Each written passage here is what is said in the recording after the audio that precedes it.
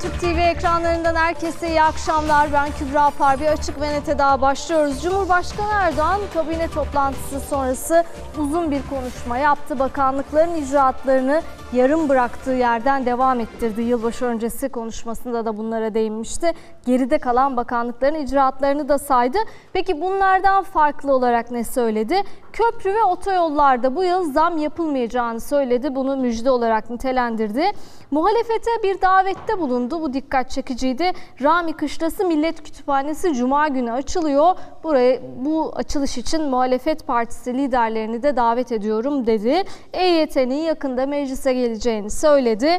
Ee, bunlar dikkat çeken başlıklardı. Peki biz ne konuşacağız bu akşam? Şimdi dün akşam da biraz değinmiştik. Gelecek Partisi lideri Ahmet Davutoğlu'nun 6 liderin eşit imza yetkisine sahip olarak e, yönetimde olacağına yönelik sözleri epeyce bir tartışma yaratıyordu. Dün Nihal Bengisu Karaca'ya yeni açıklamalar yapmıştı. İşte bununla ilgili Cumhurbaşkanlığı Başdanışmanı Mehmet Uçum Habertürk TV yayınında bu mümkün değildir, anayasaya aykırıdır, bu bir sivil darbedir dedi. E, dikkat çeken eleştirilerde bulundu. E, bu konuyla ilgili değerlendirmeleri konuklarımıza da soracağım. Pratikte mümkün mü, nasıl olur böyle bir şey e, diye. Bunun dışında HDP'nin kendi adayını çıkaracağına ya da diyelim çıkarabileceğine ilişkin açıklaması da muhalefetin adaylık hesaplarını bozdu mu? HDP aday olarak kimi destekler, kimi desteklemez? Çünkü Mansur Yavaş'la ilgili iki gündür HDP içerisinde bir tartışma çıktığını görüyoruz. Yani kimi isimler diyor ki Mansur Yavaş olursa zinhar desteklemeyiz. Sonra başkaları çıkıyor ki yok aslında biz öyle demek istemedik. Bizim herhangi bir adayla ilgili bir rezervimiz yok. Dolayısıyla bir HDP'de Mansur Yavaş tartışması ya da ayrışması mı var? Ve HDP ayrı aday çıkarırsa günün sonunda seçim ikinci tura mı kalır? Muhalefet altılı masa bu senaryoya göre ne yapar? Bunu konuşuyoruz. Seçim tarihi ne olacak tartışması da yine devam ediyor. Mehmet Uçum'un da bu konuda açıklamaları vardı. Hepsini konuşacağız efendim. Bugünün sıcak gündemini sizlere yansıtmaya çalışacağız. Çok da kıymetli konuklarımla hemen kendilerine bir hoş geldiniz diyeyim. CHP Elazığ Milletvekili Gürsel Erol, hoş geldiniz evet, Gürsel teşekkür Bey. ederim, hoş bulduk. Hemen yanında yanınızda ittifak ortağınız evet. İyi Parti'den İstanbul Milletvekili Profesör Doktor Ahat Andican bizimle. Dolayısıyla e, muhalefet cephesine dair olup biten her şeyi bu iki isme soracağız bu akşam. Hoş geldiniz tekrar. Hoş. Hemen karşı e, sırada da gazeteci meslektaşlarım var. Ülke TV Genel Yayın Yönetmeni Hasan Öztürk hoş geldiniz. Eyvallah. Habertürk yazarı Kemal Öztürk bizimle hoş geldiniz. Ve gazeteci Faruk Aksoy da aramızda. Siz de Merhaba, hoş hoş geldiniz. Temel olarak iki konuyu konuşacağız sevgili izleyiciler. Birinci konu şu. Şimdi HDP kendi adayını çıkaracak gibi görünüyor. En azından Pervin Buldan'ın son açıklamaları e, bütün hesapların HDP'nin aday çıkarması durumunda seçimin ikinci tura kalıp kalmayacağı yönüne evrildi. E, bugün Emek ve Demokrasi Platformu diye solda kurulan ittifakın önemli bir parçası TİP'in kendi toplantısı vardı. Onlar hala ortak adayda ısrarcılar. Birazdan detaylarını anlatacağım size onun. Bir bu konuyu konuşacağız. Bir de Gelecek Partisi lideri Ahmet Davutoğlu'nun 6 liderin yönetimde seçimden sonra da söz hakkına sahip olacağına ilişkin açıklamaların yankısı sürüyor. Bugün Cumhurbaşkanlığı Başdanışmanı Mehmet Uçum'un Habertürk TV ekranlarında açıklamaları vardı. Bunu konuşarak başlayalım. Şimdi e, Ahmet Davutoğlu ne demişti ki bu kadar hala yankıları devam ediyor? 6 genel başkan da aynı imza yetkisine sahip olacak aynı karar süreçlerinde eşit olacak, biri diğerine üstün olmayacak, biri diğerinden bir adım önde olmayacak demişti. Bu eşit imza yetkisi sözleri kendisine yeniden soruldu. Dün dedi ki eğer bir aday 6 genel başkanın onayı ve desteğiyle seçime giriyorsa genel başkanların yürütme erkinin kullanımında etkin konuma sahip olmalarını da kabul etmiş demektir yürütme erkinde yani sözlerinin arkasında duruyor. Deva lideri Ali Babacan'a da soruldu. O da dedi ki şimdi dedi iki ihtimal var. Biz bu genel başkanlar olarak seçimden sonra yönetimde nasıl yer alacağımıza dair. Bir ihtimal eşgüdüm komisyonu gibi bir şey olsun. Genel başkanlardan oluşan yani o dışarıda hükümetin dışında. Bir de genel başkanlar fiilen icranın içinde olsun Cumhurbaşkanı yardımcısı olarak. Bu iki ihtimalden şu anda Cumhurbaşkanı yardımcısı olarak yer almaları daha ağır basıyor dedi. Şimdi bu sözler bugün Cumhurbaşkanı Başdanışmanı Mehmet Uçum tarafından sivil darbe olarak nitelendirildi. Ne diyor Uçum? Ee, ses hazırsa bir dinleyelim, üzerine konuşalım. Ee, Anayasanın 8. maddesi, sonra diğer ilgili hükümleri, yürütme görev ve yetkisini Cumhurbaşkanı'na verir. Cumhurbaşkanı nasıl seçilir? %50'den fazla e, oy alarak seçilir. Şimdi bu açıklamalarda şunu söylüyorlar. Siz bizim Cumhurbaşkanı adayımıza oy verin, %50'den fazla oy verin, o Cumhurbaşkanı seçilsin ama e, görev ve yetkilerini kullanmasın. Ya da çok önemsiz yetkilerini kullansın. Ee, bunun anlamı açıkça şudur. Anayasanın ihlal edileceğinin itirafıdır. Yani diyorlar ki biz halkın seçeceği, yüzde elden fazla oy verip seçeceği, Cumhurbaşkanı e, olarak seçeceği, yürütme görev ve, e, ve yetkisini vereceği kişiye görev ve yetkilerini kullandırmayacağız diyorlar. Bunun açık adı anayasanın ihlalidir. İkincisi, bakın şöyle e, bir netlikte söyleyeyim. Seçilmiş bir iradeyi etkisiz kılmak, e, görev ve yetkilerini kullanmasının önüne geçmek, seçilmiş bir iradeyi sınırlamak hangi yol ve yöntemlerle olursa olsun darbedir. İster askeri yöntemlerle olsun, ister yargı eliyle, emniyet eliyle olsun tercih değildir diyorsun. darbedir. Bu bir tercih olamaz. Yani siz seçilmiş iradenin görev ve yetkilerini e, kullandırtmayacağım derseniz, biz bir eşgüdüm kurulu olarak bunu yapacağız derseniz ya da biz imza yetkisine sahip e, başkanlar, genel başkanlar olarak eş değerde hatta ondan daha ileri imza yetkisine sahibiz e, derseniz bu bir sivil darbe hazırlığıdır. Hakikaten burada gerçek anlamda bir sivil darbe hazırlığı var. Evet bu sözlerle çok sert sözlerle eleştirdi Mehmet Uçum. Devamında da dedi ki bu altı liderin başkan yardımcısı olması da bu durumu değiştirmez dedi. Şimdi Gürsel Erol'la başlayacağım. Gürsel Erol ilk sorum şu.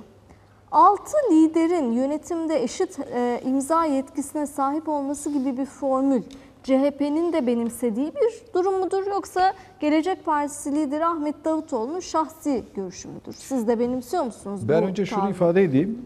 Yani bir akademik kariyeri olan, Cumhurbaşkanlığı politikalar başkanlığı yapan ve partili Cumhurbaşkanlığı sistemiyle ilgili kanunun hazırlığında, anayasa değişikliğinin hazırlığında çok önemli görev alan birisini Cumhurbaşkanlığı adına ulusal bir televizyona çıkıp hale darbeden bahsedebiliyorsa, hale darbe söylemiyle bir siyaset yapma tarzını, anlayışını kamuoyuna anlatıyorsa vah bu ülkenin ve bu devletin haline. Yani ben biraz önce Faruk Bey'le programa girmeden önce Mehmet Bey'in programını dışarıda da seyrettik. Ee, sanıyorum ki yani aslında acınacak haldeyiz. Düşünün ki partili cumhurbaşkanlığı sisteminin anayasa değişikliğini hazırlayan Cumhurbaşkanlığı Politikalar Başkanı hala devletin, devlet bürokrasinin nasıl olur oluştuğunu, nasıl yapılandığını, görevlerinin ne olduğunu farkında değil. Neden böyle Ben lise mezunuyum. Bak ben lise mezunuyum. Benim üniversite hayatım olmadı. Mehmet Bey de akademik kariyer olan bir hukukçu. Cumhurbaşkanlığı e, hukuk politikaları başkanı. Yani bu konuları kendisiyle ben bir canlı yayında bir lise mezunu ve bir akademisyen olarak onun tartışmak ve konuşmak isterim. Türkiye'nin temel sorunu o. Yani Türkiye'nin temel sorunu olayları objektif değerlendirmek yerine makul bir anlayışla, devlet adamlığı kimliğiyle değerlendirmek yerine her bir taraftan bir tarafı korkutup, ürkütüp, öcü gösterip diğer taraftan kendileriyle ilgili farklı bir algı yaratmak. Şimdi tabii ben e, Sayın Davutoğlu'nun bu söylemiyle ilgili sizin de demin ifade ettiniz. Yani gerçek boyutunda ne var bilmem. Ama şu da bir gerçek ki zaman zaman Sayın Cumhurbaşkanı da Sayın Devlet Bahçeli'yi ziyaret eder. Yani mecliste ziyaret eder, evinde ziyaret eder. Sayın Devlet Bahçeli, Sayın Cumhurbaşkanı ziyaret eder. Hem partilerinin geleceğiyle ilgili, hem hükümetin geleceğiyle ilgili, hem dış politikada hem iç politikada görüş alışverişinde bulunurlar. Ve çoğu zaman kamuoyunda da yansır ki Bakanlar Kurulu revizesinde, revizyonda bazı bakanların bakanlıklarının korunmasıyla ilgili de Sayın Devlet Bahçeli'nin iradesinin olduğu söylenir. Şimdi Sayın Devlet Bahçeli hükümetin üyesi mi? Değil. Ya Cumhur İttifakı'nın orta olan bir parti. Şimdi burada e, 6 lider her kararda görüş belirtecekten ziyade eşit imza yetkisi demesi e, yürütmede söz hakkına sahip olacak. Bakın tam cümlesi düzeltme açıklamasındaki cümlesi diyor ki genel başkanların yürütme erkinin kullanımında etkin konuma sahip olmalarını kabul edecek. Olabilir. Zaten şu an hükümet programını hazırlayan genel başkanlar, partiler. Tabii ki doğal olarak 6 parti bir araya gelmiş bir hükümet programı hazırlıyorlar. Ona yönelik bir bürokratik kadrolaşma ile ilgili görüşmeler var. Olacak tabii. Peki bu mevcut, Ama bu mevcut anayasaya aykırıdır eleştirileri var. istişare ne edebilirler. Kararnameye imza atmayacaklar ki. Eşit imza kara- yetkisi ama kelimesi o var şöyle ama. ön görüşmeler. Bugün nasıl Sayın Cumhurbaşkanı Devlet Bahçeli ile hayır. görüşüp Öyle bir ön görüşme Sayın Hiç öyle- hiç öyle Ama bir şey onun yok. dışında Kübra Hanım şimdi mantık Davutoğlu'nun yürütün. Yani bir şey devlette yok. İmza atma yetkisi, imza atma yetkisi eğer siz bakanlar kurulundaysanız orada bir sıfatınız varsa atarsınız. Ama sizin hükümette bir yetkiniz yoksa eğer genel başkan olarak Cumhurbaşkanı yardımcılığı görevini üstlenmişseniz tabii ki imza atma yetkiniz olacak. Tabii şöyle. O zaman yüzde yüz haklısınız. Ben- Ama öyle ben- bir şey demiyor. ben- Nasıl? Öyle bir şey demiyor Sayın Davutoğlu. Ya bunu da açıklayabilir, detaylandırabilir sonra. açıklarken bile de Olabilir. açıklarken bile öyle demiyor. Olabilir. atmıyor, Şimdi ben onun söylemleri üzerinden bir yorum, bir değerlendirme yapmak istemem. Ben Tamam. Cumhuriyet Halk Partisi'nin milletvekiliyim. Benim muhatap aldığım, konuştuğum kişi bir siyasi partinin genel başkanı ve başbakan. Yani onun gerçek düşüncelerinin ifade edilmesi, tartışılması, anlatılması benim sorumluluğumda ve yetkimde değil. Peki O genel CHP'nin istediği nedir? Ben bakış açımın ne olduğunu size. anlatırım. Peki yani CHP'nin CHP adına da önerdiği- söyleyemem. Ben CHP adına burada değilim. Ben Elazığ milletvekili olarak buradayım. Ki partimin adına değil, kendi adıma düşüncelerimi ifade ediyorum. Tabii ki belki de 6 partinin genel başkanları kabinede görev alacaklar. Cumhurbaşkanı yardımcısı olacaklar. Yani o bu anaların ak sütü kadar helaldir o zaman o imza. Cumhurbaşkanı atabilir. yardımcısı olurlarsa tabii ki atma yetkileri var. Ama Cumhurbaşkanı yardımcısı olarak görev almazlarsa, kabine dışında kalırlarsa, ittifak oluşturan partilerin genel başkanları olarak bugün Sayın Cumhurbaşkanı nasıl Devlet Bahçeli ziyaret edip bazı konularda görüş alışverişinde bulunuyorsa, onların da görüş alışverişinde bulunmaları gayet doğal. İşte Ama öyle öyle, demiyor işte. demiyorlar. Görüş Gürsel alışverişi öyle öyle bir şey demiyor yani. Değil. Gürsel Bey. Keşke öyle olsa. Konu şu. Burada mesela Mehmet Uçum'un e, açıklamalarında benim itiraz edeceğim ciddi noktalar var. Mesela darbe kavramı kullanılabilir mi? Bunlar ayrı şeyler. Ama orada şunu ifade ediyor bir hukukçu olarak da. Diyor ki bunun anayasada bir karşılığı yok diyor. Yani bir cumhurbaşkanlığı sistemi var, bir cumhurbaşkanı var, bakanlar kurulu var. Yani bir konsey, bir liderler konseyinin imza yetkisi bu sisteme göre anayasal olarak yok diyor. Kanunen yok diyor. Yani o orada mesela Cumhuriyet Halk Partisi'nin de görüşünü doğrusu ben de çok merak ediyorum. Hani bu konuda tam olarak ne düşünüyor Cumhuriyet Halk Faruk Partisi? Bey imzaları, Yoksa şey değil. imzaları devlet bürokrasisinin oluşması, Evet. devlet adına bir kararı vermek adına resmi bir imza değil. Bir ön görüşmenin Hayır. bir metne bağlanması ile ilgili olabilir. İşte yani Davutoğlu- nasıl altı Tamam, lider bir araya geliyorsa Tamam, böyle CHP'nin böyle istediğini CHP böyle anlıyoruz. düşünüyor. Tamam. Evet. Ama yani Sayın şimdi nasıl altı Bu- lider Bundan bir araya geliyorsa- olabilir? Hasan Altı Bey, siyasi parti Hasan Bey siz ortaklık yapmak istiyor. Bak, ne siz güzel. nasıl değerlendirirseniz o sizin sorunuz. Ben kendi bakış açımı söylüyorum. Tabii, tabii. Tamam. Yani bugün nasıl altı partinin Bu lideri bir araya geliyorsa bazı konularda, bazı politikalarda ortak bir metin oluşturup altına imza atıyorlarsa o bir vaat sözleşmesidir. Amenna. Ama yarın iktidar olduğumuzda altılı masada görev alan siyasi partilerin genel başkanı, cumhurbaşkanı veya bakan sıfatını aldığı zaman bakanlar kurulundaki zaten imza atacaklar. Peki. Ayrıca bu konuların Türkiye'de konuşulması bizim için de son derece sevindiricidir. Niye? İktidar olacağımıza hepiniz inanmışsınız ki bunu tartışılır hale Ha, bu gelmişsiniz. güzel. Bak bu da güzel bir şey. Şimdi- yani bunu Cumhurbaşkanı Gürsel- danışmanının bile bu şekilde ifade etmesi Millet İttifakı'nın iktidara yönelik Ama hemen düzeltti. Dedi ki şimdi bu seçimde değil de bir sonraki seçimde Evet falan. doğru onu da 2028'den söyledi. kaç hafta Evet benim de dikkatimi çekti. Gürsel Bey, Ahmet Davutoğlu'nun tam cümlesini okuyayım da anladığım kadarıyla sizin önerdiğiniz de onun söylediği aynı şey Ben o ilgilendirmez. Ben onun Anlatayım. söyleminden Tamam. ne anladığımı ve ne olması Tamam. gerektiğini ne söylerim. diyor, niye tartışma bu kadar büyüdü? Onun için belki sevgili izleyiciler diyecek ya ne var bunda tartışacak? Sayın Davutoğlu'nun bu kadar tartışmaya yol açan sözleri şu. Cumhurbaşkanı adayı içeriden veya dışarıdan olsun şunu bilecek. 6 genel başkan da aynı imza yetkisine sahip olacak. Aynı karar süreçlerinde eşit olacak. Biri diğerine üstün olmayacak. Biri diğerinden bir adım önde olmayacak. Şimdi Olabilir bunun efendim. Bu bir tercümesi partinin şu. temennisidir, bakış Bu- açıdır. ha, bu- 16'lı masa tamam. değerlendirecek. Gelecek Partisi'nin E, temennisi olarak Kübra Hanım. NATO'da, Bu NATO'da da öyle. Bakın. NATO'da da öyle. Şimdi NATO'da da sizin silahlı kuvvetlerinizdeki büyüklüğünüz, bütçenizin büyüklüğü, devletinizin büyüklüğüne göre oy hakkınız yok ki. Doğru ama NATO'da yani bir kişi bile bütün veto dünya ettiği zaman halklarının %51 ile seçtiği ayrı bir hiç fark cumhurbaşkanı yok. etmez. Bak burada Gürsel Bey, bu partili cumhurbaşkanı sistemiyle ilgili Gürsel söylenen Bey, ne? Gürsel Bak Bey. yüzde elli pardon özür dilerim. Faruk Bey. Yüzde elli kimse konuşmuyor. Bak bu partili cumhurbaşkanı sistemiyle ilgili yüzde elli oyu kimse konuşmuyor. Artı bir diyor. Tamam. Sonucu değiştirecek ne? Artı bir. Onun için artı biri ciddiye alacaksınız. Gürsel Bey size olan te- Artı bir tek önemli. itiraz. Yani size bir olan yüzde tek bir oy itiraz- parti de önemli Yani diyor. size olan tek Ahmet Davutoğlu şu. böyle konuşur ama o artı bir diyor. Dolayısıyla Gürsel Bey. Yüzde elli artı bir almadığı Hayır, zaman Cumhurbaşkanlığı kazanamazsınız. diyor. Tabii ki ciddiye alacaksınız. İttifak niye var? bilmiyoruz, Gelecek Partilerin oy oranına göre bir ittifak yok ki. şimdi. Yaratacakları etkiye göre bir ittifak var. Bir şey. Gürsel Bey size olan itirazın tek tek ifadesi, tek cümleli ifadesi şu. Bahçeli, Sayın Bahçeli örneğini verdiniz ya. Sayın Bahçeli ile Sayın Erdoğan arasındaki ilişki Davutoğlu'nun, Sayın Davutoğlu'nun söylediği gibi bir şey değil. Yani Bahçeli ile görüşür, Erdoğan Bahçeli görüşmesi yapılır ama orada Sayın Bahçeli'nin bir imza yetkisi falan yok. Peki ben Yani size bir örnek örnek vereyim. tam yerine oturmuyor. Ben size bir Onun örnek için vereyim. diyorum. Size bir Yoksa örnek vereyim. sizin temennilerinize Yani imza demek- katılıyorum. Doğru. Faruk Bey imza demek illa da imza atmak değildir. Siyasetçinin ağzında çıkan öyle söz de. Siz Sayın Davutoğlu'ndan bildiğiniz ıslak imza anladınız. Anladım ben de size bir örnek vereyim. Onu anlıyorum 2018 yani. yılında ülkeyi seçime kim götürdü? Bahçeli, Sayın Erken Bah- seçim kararını kim aldı? Hangi Sayın tarihte Bahçeli falan? 2018. aldı. Tabii Sayın Bahçeli. Açıklayan kim? Sayın Bahçeli. Bahçeli. Peki iktidar mıydı? Değil. İttifakın parçası. Tamam. Ya demek ki partilerin birbirlerini etkileyen söylemleri, Olabilir. uzlaşmalar Olur, olur. olabilir. Gayet, Gayet normal doğal. bir şey. Gayet normal. O ona bir Peki, yok. devam edelim. Devam edelim. Evet. Olabilir. Evet. Ben hakikati Hayır yani. ben dedim ben şunu bekledim açıkçası Sayın Davutoğlu'ndan. Dün Nihal Bengüsü Karaca'ya konuşurken ya ben öyle demek istemedim gibi bir cümle yok.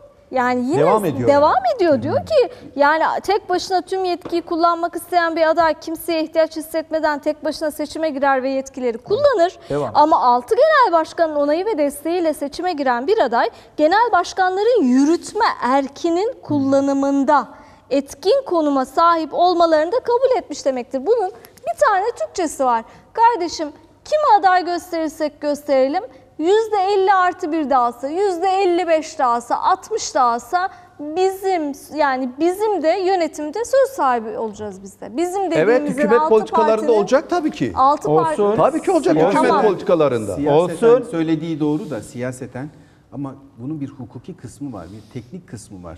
Yani hukuken hiçbir şekilde imza atamaz. Kanunlara Atamaz aykırı. tabii. Ya anayasa ama Tabii, tabii. bu cümleyi kullanırsanız böyle bir tepkiyle karşılaşması da normal. Ama şöyle yani. olabilir mi Kemal Bey? Girdi Cumhurbaşkanı yardımcısı oldu ve bakan oldu. Tamam. Var mı imza yetkisi? Yine yok. Var. Yok bir tanesi Hayır. yeterli. Var. Hayır. Yine yok. Yeni Var. sistemde yok. Hayır hayır şöyle. yok. Yani kendi Bak şöyle var. Şimdi bak kabine var mı? Var. Alınan birçok karar Bakanlar Kurulu'nda kabinede imzaya açılıyor mu? Açılıyor. Yeni Hayır. Önerilerini değil. getiriyor. O başbakanlık, yeni değil, başbakanlık, pa- parlamenter sistemde. Burada Şöyle, açılmıyor. Sayın Bakanım açılmıyor derken şöyle sonuçta bir kabinenin aldığı bir karar var. Yok ama ortak ya karar alınan yok. karar Bakanlar ortak şekilde Kurulu kararı açıklanıyor. yok yeni Evet. Şimdi sistemde. eskiden mesela valileri kim atıyordu? Bakanlar, Bakanlar Kurulu atıyor. İşte bu Şimdi yeni kim atıyor? sistemde bu Cumhurbaşkanı. Ama atıyor. hükümet politikalarında yine bakanların ve cumhurbaşkanı yapısının şey görevi ve sorumluluğu var. Olmaz olur yeni mu? sistemde Ama ama ama resmi gazetede Cumhurbaşkanı kararnamesi olarak atamalar Tabii. yapıyor. Şimdi, Hasan Bey bak. Şimdi yeni, ben bir yeni Ahat model Bey'e böyle. Ahmet döneceğim çünkü Davutoğlu'nun İyi Parti'nin Sayın- ben buna itiraz ettiğini duyuyorum. Kübra Hanım, Ahat Bey'i şunu, merak şunu ediyorum. tamamlayayım. diyeceğini, ha. Eski başbakanlık yapmış birisinin tabii ki söylemleriyle ilgili kendine göre mutlaka bir hukuki gerekçesi vardır. O siyaseten eleştirilebilir mi? Farklı yorumlayabilirsiniz. Ben hepinizin düşüncesine saygı gösteriyorum. Çünkü sonuç itibariyle onu yorumlamak da lazım. Ama Cumhurbaşkanlığının hukuk işleri politikaları daire başkanlığının, başkanlığının bunu bir darbe söylemi olarak ifade etmesi hukuki ülke adına olarak doğru değildir. Aslında konuşması, gere- konuşulması gereken bence Davutoğlu'nun söyleminden ziyade hala bu ülkenin gündemine darbe söylemini yerleştirmek isteyenlerin zihniyetidir. Aslında bunu tartışmamız lazım. Böyle bir şey olabilir mi? Buyurun onu da eleştirin. Şimdi e, Ahat Bey, İyi Parti benim duyduğum kadarıyla yanlış kulis duymuş olabilirim. insanlık hali. Sayın Davutoğlu'nun bu sözlerine biz zinhar katılmıyoruz. Bizim böyle bir düşüncemiz yok diyorlar diye duydum öyle mi? İyi de Parti duydunuz sayın, mu? Siz de duydunuz mu? altı e, altı lider eşit imza yetkisine sahip olsun istiyor mu İyi çok, Parti? Kübra çok güzel bir şekilde şeyi atıyor. Şimdi, Siz, e, sizce böyle bir şey parti- pratikte yürür mü? Yani böyle bir sistem. Şimdi bu konuyu parti adına değerlendirmem mümkün değil. Çünkü parti içerisinde bunun tartışması veya değerlendirilmesi yapılmış değil. Dolayısıyla bireysel olarak görüşümü paylaşacağım burada. Tabii. İki şekilde e, değerlendirme yapmak istiyorum. Birisi Sayın Mehmet Uçum'un bu darbe konusu, da, sivil darbe sözcüğü. Yani bir hukukçu, bir özellikle bu konuda uzun yıllar çalışmış akademisyen. Böyle bir imza paylaşmasını sivil darbe olarak niteliyorsa bu çok e, had- yani her şeyi aşan, aslında haddini de aşan bir değerlendirme olur. Siyasetçi olsaydı yani siyasetçi olarak hani söyledi geçti diyebiliriz. Ama bir akademisyen olarak ve bu konuda kendine göre otorite olduğunu söyleyen birisi olarak böyle bir değerlendirme yapması doğrusu beni hayal Şöyle kırıklığına açıklıyor. uğrattı. Yine tartışalım. Şimdi- Yani hayal kırıklığına uğramış olabilirsiniz. Evet. Ona itiraz Şimdi, yok ama bir dakika, şöyle bir rasyonelize dakika. ediyor. Bir dakika. Peki. Darbe, Türk Dil Kurumu'na bakalım. Darbe ne? Ne demek darbe? Niye sivil darbe olmaz? Niye olmaz? Şu, ülkede bir grup tarafından örgütlü bir biçimde silah zoruyla baskı kurularak veya seçim dışındaki demokratik usulleri kötüye kullanarak mevcut hükümeti istifa ettirme veya rejimi değiştirecek biçimde yönetimi devirme işi. Darbe budur. Darbe budur. Peki sivil darbe nedir? Darbe budur. Bunu sivillerin yapması durumunda sivil darbe olarak tanımlanıyor. Sivil vesayetin oluşturulduğu bir konuma siviller tarafından yapılır ise bu. Askeri olarak da işte askeri darbe diyoruz vesaire. Şimdi dolayısıyla buna bir bunu bir e, ayrıntılandırmamız lazımdı. Onun için bu değerlendirmeyi yaptım. Yani Sayın Uçum'un bu değerlendirmesi çok yersiz ve bir akademisyenden beklenmeyecek bir değerlendirme. Şimdi, Şimdi ikinci bunu neye göre söylediğini de söyleyelim. Hani altını doldurmak için diyor ki %50 artı birle seçilen bir cumhurbaşkanı var. Ee, muhalefet diyor ki biz aslında bunu da şöyle gerekçelendiriyorlar. Tek adama bu kadar yetki verirseniz bu yoldan çıkabilir, otoriterleşebilebilir. Dolayısıyla biz bu altı lider bir arada gösteriyoruz. Biz kefil olduğumuz için halk bu e, kişiye oy verecek. Onun için bizim de On- yönetimde söz hakkı sahibi olmamız lazım. Uçum da diyor ki mevcut anayasaya göre %50 artı 1'i almış bu yetkiyi almış bir cumhurbaşkanının yetkisine bir başkası ortak olamaz. Bu Peki. sivil darbedir Peki. diyor. Bu anlamda Şimdi söylüyor şimdi çerçeveden. eğer bunu bu şekilde anlar ve açıklamaya kalkarsak o zaman mecliste kabul edilmiş İstanbul Sözleşmesi'nden Sayın Cumhurbaşkanı'nın tek imza ile çıkması da meclisi dışlayan bir sivil darbedir. Eğer bu şekilde anlayacaksak bu meseleyi. Bu da çok zorlama olur hocam ama. Ayrıca bir dakika. Ayrıca burada burada eğer yetkilerin paylaşımı bir şekilde rızaen oluyor ise yani bir zorlama, baskı, O da silah gücü değil dedi. vesaire. Mehmet Akif mümkün, öyle de sordu. Mümkün olup olmaması ayrı bir konudur. Anayasal tartışma ayrı bir konudur. Ama rızaen olması durumunda yine ona sivil darbe değil, başka bir tanımlama söylenebilir. Yani anayasayı ihlal diyebilirsiniz. Ama anayasayı, her anayasayı ihlal bir darbe demek değildir. Yani bir kere bunu bir yere koyalım. Evet. Şimdi ikinci Sayın Davutoğlu'nun ifadelerine gelince yine bu konuda kişisel görüşlerimi aktarıyorum. Şimdi e, bunun bundan önce yapılan yani Sayın Davutoğlu'nun ifade ettiği veya tanımladığı, çerçevesini çizdiği bu yöntemin veya uygulama, potansiyel uygulamanın, geleceğe yönelik potansiyel uygulamanın altılı masada görüşülmediğini biliyorum. Çok önemli bir cümle. Hiç görüşülmedi böyle Evet. bir şey. Tamam? Nokta. Çok çok önemli bir açıklama. Dolayısıyla bu. buradan çıkarak rahatça şunu söyleyebiliriz. Nedir o? Sayın Davutoğlu'nun şahsi dilerim. görüşüdür. Ya Davut Yani Davutoğlu'nun açıkladığı ortak imza yetkisine sahip olacaktır kısmı cümle olarak mı geçmedi? Ama ben biliyorum ki Onu- altılı onu- masada onu o şekilde o nasıl o paylaşılacak? nasıl- şekilde o şekilde bir değerlendirme veya o şekilde bir talep ya da o şekilde bir görüş gündeme gelmiş değil. Ama şu olduğunu biliyorum ben de. Yani Cumhurbaşkanı seçeceğiz de o yetkilerini nasıl kullanacak bunu tartıştılar anladığım Şimdi- kadarıyla. Şeyin e, Saadet Partisi Genel Başkanı, Saadet Partisi Başkanı Sayın Temel Karamollaoğlu'nun da biliyorsunuz bir eşgüdüm e, Komisyon, şeyi evet. falan sözcüğü vardı. Dışarıdan Bu, bu çerçeve içerisinde Yani ikili, üçlü, beşli neyse konuşmalar olmuş olabilir. Ama Sayın Davutoğlu'nun söylediği formatta bir değerlendirme yapılmamıştır. Yani Çok kere önemli bunu- bir bilgi bir sevgili koyalım. izleyiciler. Bir Altılı koyalım. Masa'da böyle bir şey Şimdi- konuşulmamış diyor Sayın Hakan Bu Can İYİ formatta Parti'den. bir konuşma olmadığını e, söyleyebiliriz. Şimdi Size göre doğru olur mu? Yani İkincisi, istikrarsızlık evet şimdi meselesi şimdi oraya geliyorum. çünkü. Şimdi oraya geliyorum. Bu tartışılmadığı için parti içerisinde yani partinin bu konuda nasıl bir tavır alacağını bilmem. Ama şahsi görüş olarak şunu Eski bir söyleyebilirim. bakan olarak Evet, şahsi bir görüş olarak bunu şunu söyleyebilirim. Şimdi yeni seçilecek olan Cumhurbaşkanı sonuçta şöyle ya da böyle altılı masanın adayı olarak da gelse, çeşitli şekillerde de gelse bugünkü yasal çerçeve içerisinde seçilecek. çok yaşa. Temel unsur bu. Yasal çerçeve içerisinde seçilecek.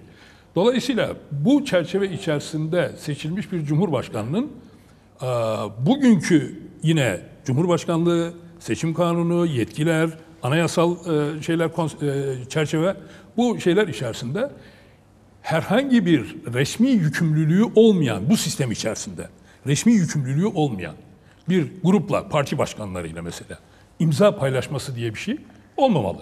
Yani Asizce olmamalı. Ben, ben- ben öyle düşünüyorum. Benim şahsi düşüncem bu. Neden böyle, böyle bir şey- olmamalı? böyle bir şey Şimdi olmamalı. Nedenini de açıklayın Hayır, lütfen. yasal çerçeve içerisine oturmuyor her şeyden önce. Sorumluluk, sorumluluk ve yetki meselesi. Yani meseleleri böyle almak lazım. Şimdi yasalarda ve anayasada bir konumun, bir makamın tanımlanması yapılırken nedir? Yetkileri, sorumlulukları ve yani yeri geldiğinde o sorumluluğun ne şekilde denetlenip cezalandırılacağı olumsuzsa. Bunlar hepsi belirtilir. Dolayısıyla yani yetkisiz sorumluluk olmadığı gibi sorum, sorumluluk olmadan da yetki olmaz. Siz şimdi bu konuda böyle bir tanımlamanın yapılmadığı bir çerçevede yani altılı masadaki herhangi Yani bu bir bir anayasal değişiklik gerektirir. anayasal ve yasal belki. Veya yani ben, bile ben o işin diyor aslında yani bunun bu bu çok uygulanabilir bir şey değil diyor. Ya hocam. böyle Çok bir irade de yok ki zaten. böyle bir Faruk Bey, böyle, böyle bir irade yok ki böyle bir zaten. altyapı yok. Var, böyle bir irade altyapı yok. Bir Acayip bir irade Gerçekten var. çok Nasıl? enteresan. Bir- Çok güçlü dakika, bir irade bir var. Yani iki gün Evet. üst üste aynı şeyi söylüyor. Bir dakika. Sayın Davutoğlu. Şimdi Sayın Davutoğlu'nun iki gün, beş gün, üç gün neyse ne söylediği veya onun söylediği biz o noktadan şu anda kişisel fikrimi söylüyorum. Çok önemli Dolayısıyla sevgili izleyiciler. Yani İyi Parti onun hangi amaçla söylediğini ben bilmem. Anladım. Niye söyledi de demem. Anlatabildim mi? Ben şahsi bir siyasetçi olarak, bir milletvekili olarak yani bu şekilde bir yetki ve sorumluluğu yasal çerçeve içerisine oturtulmamış bir konumda konumda böyle bir imza paylaşımının olamayacağı inancındayım. Çünkü böyle bir imza atma yetkisini yetkisini istiyorsanız onun sorumluluğu da onun yasal ve anayasal çerçevesi de olması gerekir. Cumhurbaşkanı yardımcısı olsanız daha imza yetkiniz Şimdi, çünkü hayır bir dakika, bir dakika. O- oraya söyleyeceğim başka şey var. Buraya kadar anlaştık, Anlaştık. mı bilmiyorum. Buraya kadar tamam, anlaştık. mesele yok. Peki. Ama ama Cumhurbaşkanına, Cumhurbaşkanına bu anayasada öyle yetkiler verildi ki, öyle yetkiler verdi ki bizim de karşı çıktığımız denetimsiz yetkiler verildi ki Cumhurbaşkanı yetkilerini herhangi biriyle istediği gibi paylaşma şeyine de sahip. Anayasada bunu engelleyen hiçbir şey yok. Yani anayasada bilmiyorum bir ben gözden kaçırdıysam bilmiyorum ama bir madde yok. Yani Cumhurbaşkanı şu yetkisini birisine delege edemez. Cumhurbaşkanı yardımcısına veremez. Böyle bir şey ben hatırlamıyorum. Ben bir anayasa maddesi Dolayısıyla bir dakika. Tabii hemen. Dolayısıyla Cumhurbaşkanı yardımcısı konumunda eğer bu liderler gidecek olurlar ise ve sonuçta Cumhurbaşkanı yardımcısı olarak bu sistemin içerisinde yer alırlarsa Sayın Cumhurbaşkanı'nın diyelim ki hani örneklemek için söylüyorum. Böyle bir şey olacağından veya olması gerekli anlamında söylemiyorum. X, Y, Z bakanlarının falanca Cumhurbaşkanı yardımcısına, ZDE bakanlarının e, falanca Cumhurbaşkanı yardımcısına veya personel bilmem neyin feşmekanca Cumhurbaşkanı yardımcısına bağlanması şeklinde bir sistematik oluşturulması söz konusu olur ise bu durumda imza yetkilerinin de imzalama gereğinin de olabileceği bir ortam doğar. Ve bu da Şimdi- bu da şu andaki geçerli anayasaya göre Uygundur. Cumhurbaşkanı açısından Cumhurbaşkanı, seçilen Cumhurbaşkanı kendi öz iradesiyle bu şekilde bir bölümlendirmeyi, böyle bir e, teşkilatlanma modelini hayatiyete geçirebilir. Burada hemen bir parantez. Mehmet Uçum diyor ki başkan yardımcısı olsalar bile %50 artı 1 ile seçilmiş Cumhurbaşkanı'nın yetkilerine ortak olamazlar. Ben ben katılmıyorum. Bir kere bakın Sayın Mehmet Uçum'u eğer gerçi bu konuda gerçekten bu kadar şey sahibi olsaydı yani olmuş olsaydı geleceği öngörebilecek veya yaptığı değerlendirmeler böyle çok güçlü olsaydı anayasanın 101. maddesini yani Cumhurbaşkanı Cumhurbaşkanı iki kez seçilebilir maddesini şu anda şu anda savunmak zorunda kalmıyor olurdu. Ya da onunla yani o konulan maddeyi değiştirmiş olurdu. Bugün savunduğu şeyin gerçekleşebilmesi için. Yani Sayın Cumhurbaşkanı'nın üçüncü kez Cumhurbaşkanı adayı olabilmesini sağlayacak altyapıyı oluşturmuş olurdu. Demek ki bakın yani öyle her söylenen şey Sayın Uçum söylüyor diye bu doğru değil. Onu Ben- me- ben anayasada gayet- da özellikle çalıştım. Ben, ben bir anayasa anayasada profesörü olarak. ben anayasada evet gayet, öyledir diyor ama. Ben anayasada gayet açık bir şekilde o madde baştan sonra yeniden yazılı diyor. Ama Cumhurbaşkanı ifadesi Ben bir olduğu için. örnek veriyorum Hasan Bey. Yok yok hayır bu Her şey- tartışıldı. hayır her şeyi savunmak zorunda değilsin. Yok yok tartışıldığı için ben katkı veriyorum size. Konuşma sırası sana geldiğinde Evet. fikrini ifade et. Amin. Katılırız, katılmayız. Amin. Ama her her sözü savunmak durumunda değilsin Yok yani. burada tartışıldığı için Evet. söylüyorum ben size. Dolayısıyla ben o konuyla ilgili soruna son cümle olarak daha önce söylediğimi daha da toparlayarak söyleyeyim. Yani Sayın Mehmet Uçum böyle söylüyor diye böyle bir şeyin geçerli olduğunu düşünmüyorum. Yani şu Anayasada olabilir da- mi? Şöyle anlayalım. Şimdi sizin bu sözleriniz haber niteliği taşıyan çok önemli sözler. Birincisi olarak birinci olarak diyorsunuz ki altılı masada böyle e, altı genel başkanın eş imza yetkisiyle yönetime ortak olmasına ilişkin bir konu konuşulmadı. Evet. Bu net. İki, diyorsunuz ki ama e, başkan yardımcısı olurlarsa seçilen Bu Cumhurbaşkanı da bunu kabul ederse böyle bir düzenleme Seçilen Cumhurbaşkanı yetki delegasyonu yaparsa Delegasyon. Delegasyondan kastınız nedir? şey. Ben mesela dış politikayı X genel başkanı delege ediyorum. E, işte iç işlerini X genel başkana de, delege ediyorum evet, diyebilir genel başkanı değil, diyorsunuz. Cumhurbaşkanı yardımcısına. yardımcısına. Yani Bunun Cumhurbaşkanı yardımcısı eskiden. olarak. Sayın Bakanım, eskiden Hocam devlet buna da kanuni vardı. düzenleme gerekiyor ama. Efendim? Yani yetki paslamak Ya için onu, kan- onu Cumhurbaşkanı'nın yapacağı bir şey kararname. Kararnameyle bağlı. kanuni Bu kadar. düzenleme Yani gerekiyor. onun için özel bir şeye gerek yok ki. Cumhurbaşkanı değerli arkadaşlar bu anayasa, bu düzenlenen anayasa değişiklikleriyle şu anda geçerli olan anayasa Sayın Cumhurbaşkanı'na yani bunu Tayyip Erdoğan'ın şahsı için konuşmuyorum. Kim olursa olsun. Gerçi Tayyip Erdoğan için çizilmiş bir anayasa ama ona göre biçilmiş bir anayasa ama yani sanki hep o devam edecekmiş gibi o anlayışla biçilmiş bir anayasa ama ama yani öyle yetkiler verilmiş ve denetimsiz yetkiler verilmiş ki rahatlıkla bu sözünü ettiğimiz biçimde karar, kararnamelerle şeylerle onu geçirebilir. Ee, hocam orada bir anayasal engel de Ge- olabilir. gerekiyor- yani Hayır bir dakika lafımı tamamlayayım. Gerekiyorsa böyle bir konumda meclisten bununla ilgili yasal şey de geçirilir. İşin hukuki boyutunu söylüyorum. Yani kazanıldıktan sonrayı tartışmıyor muyuz? Kazanıldıktan sonrayı tartışıyorsak yani Cumhurbaşkanlığını kazanmış bir altılı masa aynı zamanda parlamentoda çoğunluğu elde etmiş bir altılı masa olacaktır. Bu durumda yani gerekiyorsa Cumhurbaşkanı kararnamesi, gerekiyorsa yani e, yasa, meclisten geçirilecek yasa. Yani bu durumda Sayın Mehmet Uçum'un bu olmaz, bu şey yapılamaz falan gibi veya böyle bir değerle, paylaşım yapılamaz gibi değerlendirmeleri havada kalır. Çünkü anayasada Cumhurbaşkanı'nın yetkilerini ne şekilde kullanacağı konusunda bir tanımlama, tek bir Diğer tanımlama konuklara yapılmış. dönmeden şunu da soralım mı? Tek bir Sizce tanımlama, bu bir istikrar dakika, adına bir- tek bir tanımlama, tek mı? bir tanımlama yapılmış. Meclisin geçirdiği yasalarla yasalara çelişkili veya on, o öyle o alanda meclisin geçirdiği bir yasa varsa Cumhurbaşkanı o zaman onunla ilgili düzenleme yapamıyor. Ki o durumda da meclisten gerekli yasa meclisten geçirilir. Cumhurbaşkanı gerekmiyorsa Cumhurbaşkanı kararnamesiyle bu teşkilatlanma modeli yapılabilir ve Cumhurbaşkanı yardımcısı konumundaki e, parti liderleri de eğer parti liderleri olacaksa kendi alanlarında imza yetkisine sahip olabilirler. Ayrıca biraz önce milletvekili arkadaşımın söylediği gibi istişare her zaman yapılabilecek bir şeydir. Yapılması gereken bir şeydir. Bir, bir kişinin aklı yerine yani 5-6 kişinin aklı çok daha iyi sonuçlar verecektir. Zaten Çok teşekkür. Bu o. sözleri bir İddiamız tartışalım. yani. Hasan Öztürk ne dersiniz? Bu formül çalışır mı?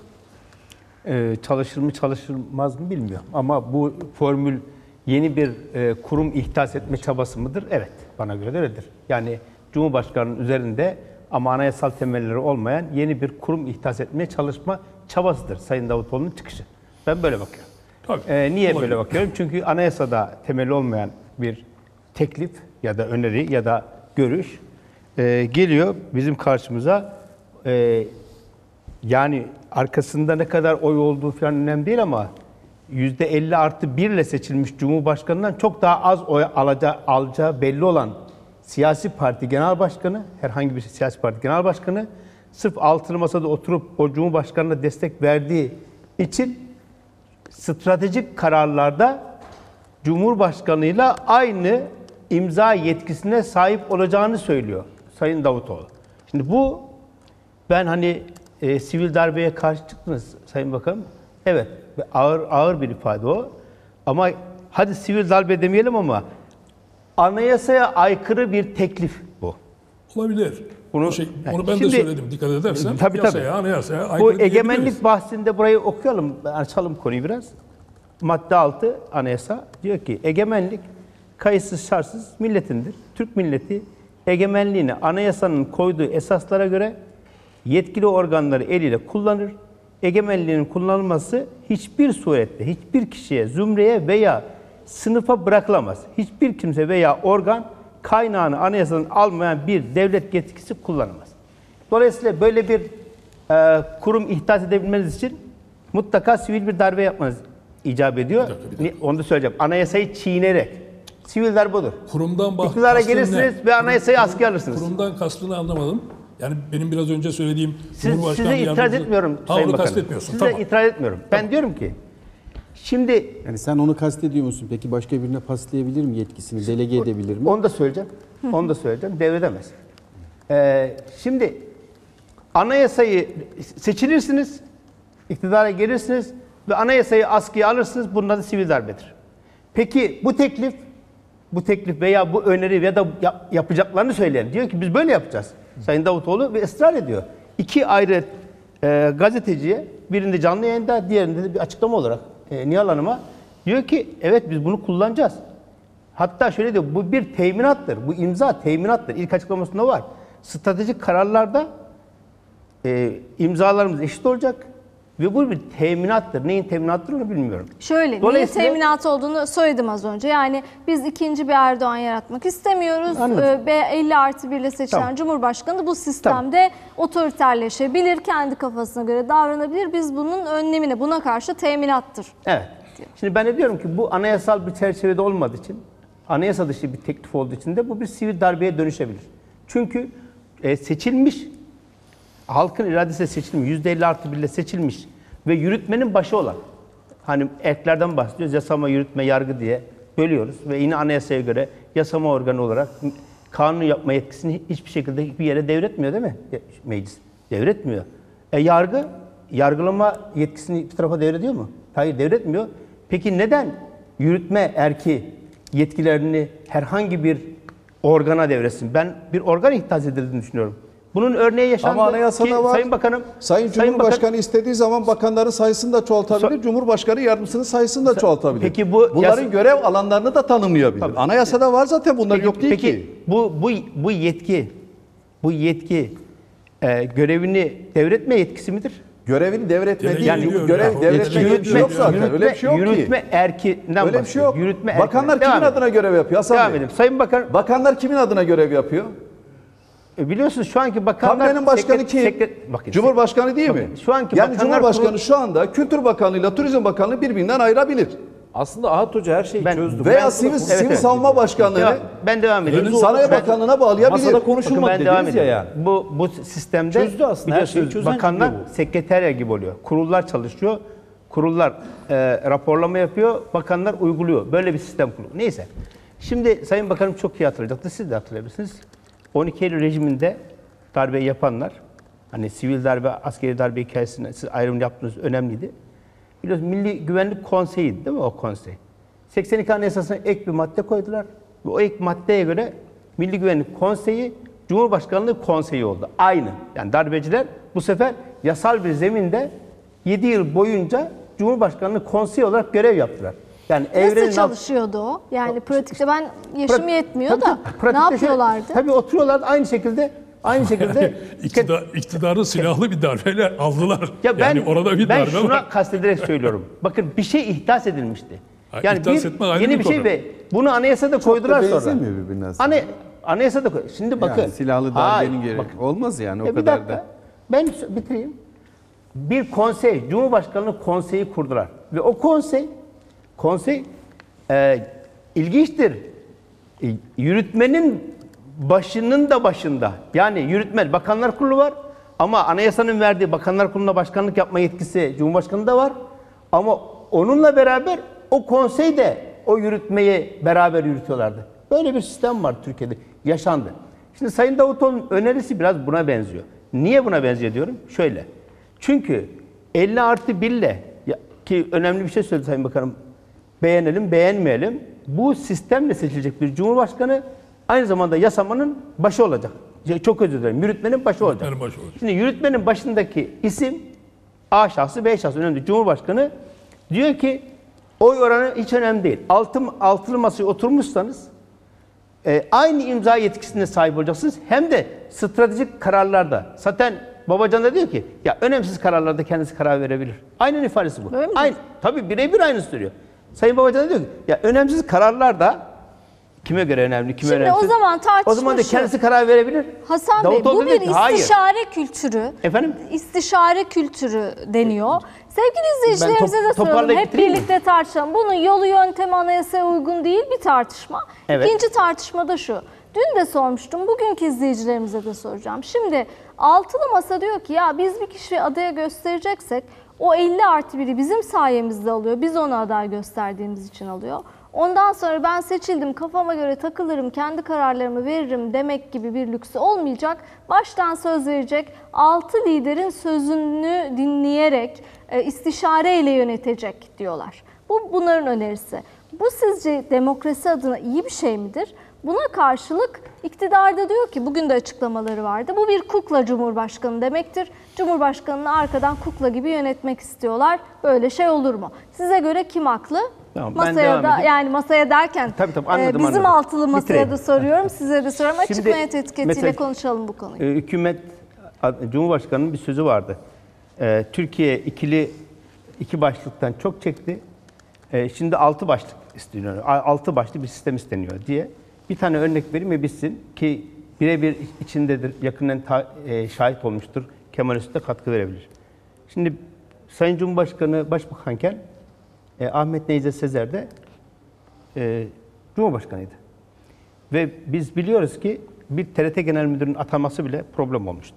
Nasıldı? Ne olmuştu? E, Mesela bir genel, TRT Genel Müdürü'nün ataması için Sayın Cum- Başbakan köşke, Çankaya Köşkü'ne defalarca çıkmıştı ve atatamamıştı hocam.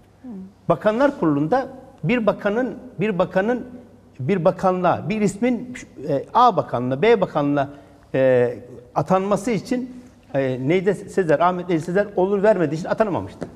İsmini biliyoruz. Yani o bakan da biliyoruz. Nereye atanmak istediğini ve atanamadığını da onu biliyoruz. Şimdi bunlar yaşanmıştı. Daha öncesinde de Sayın Bakanım hatırlayacaktır.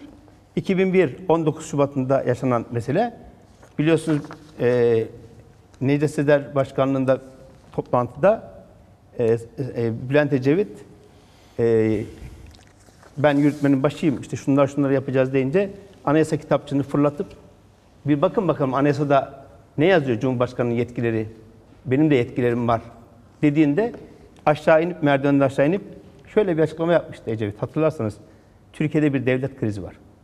Yani iki başlıkta bir devlet krizi çıkmıştı iki başlıkta. Bakın hem Erdoğan'dan örnek verdim, Başbakan döneminde hem daha geçmişten örnek verdim. Şimdi iki başlıkta bile böyle bir problem çıkıyorsa ve şimdi bütün bu problemler aşılsın diye bir düzenleme yapıldığı zaman o düzenlemeyi askıya alarak Cumhurbaşkanının üzerinde başka bir vesayet odağı kurmayı hesap ediyorsanız ben bunun çok demokratik olduğunu düşünmüyorum.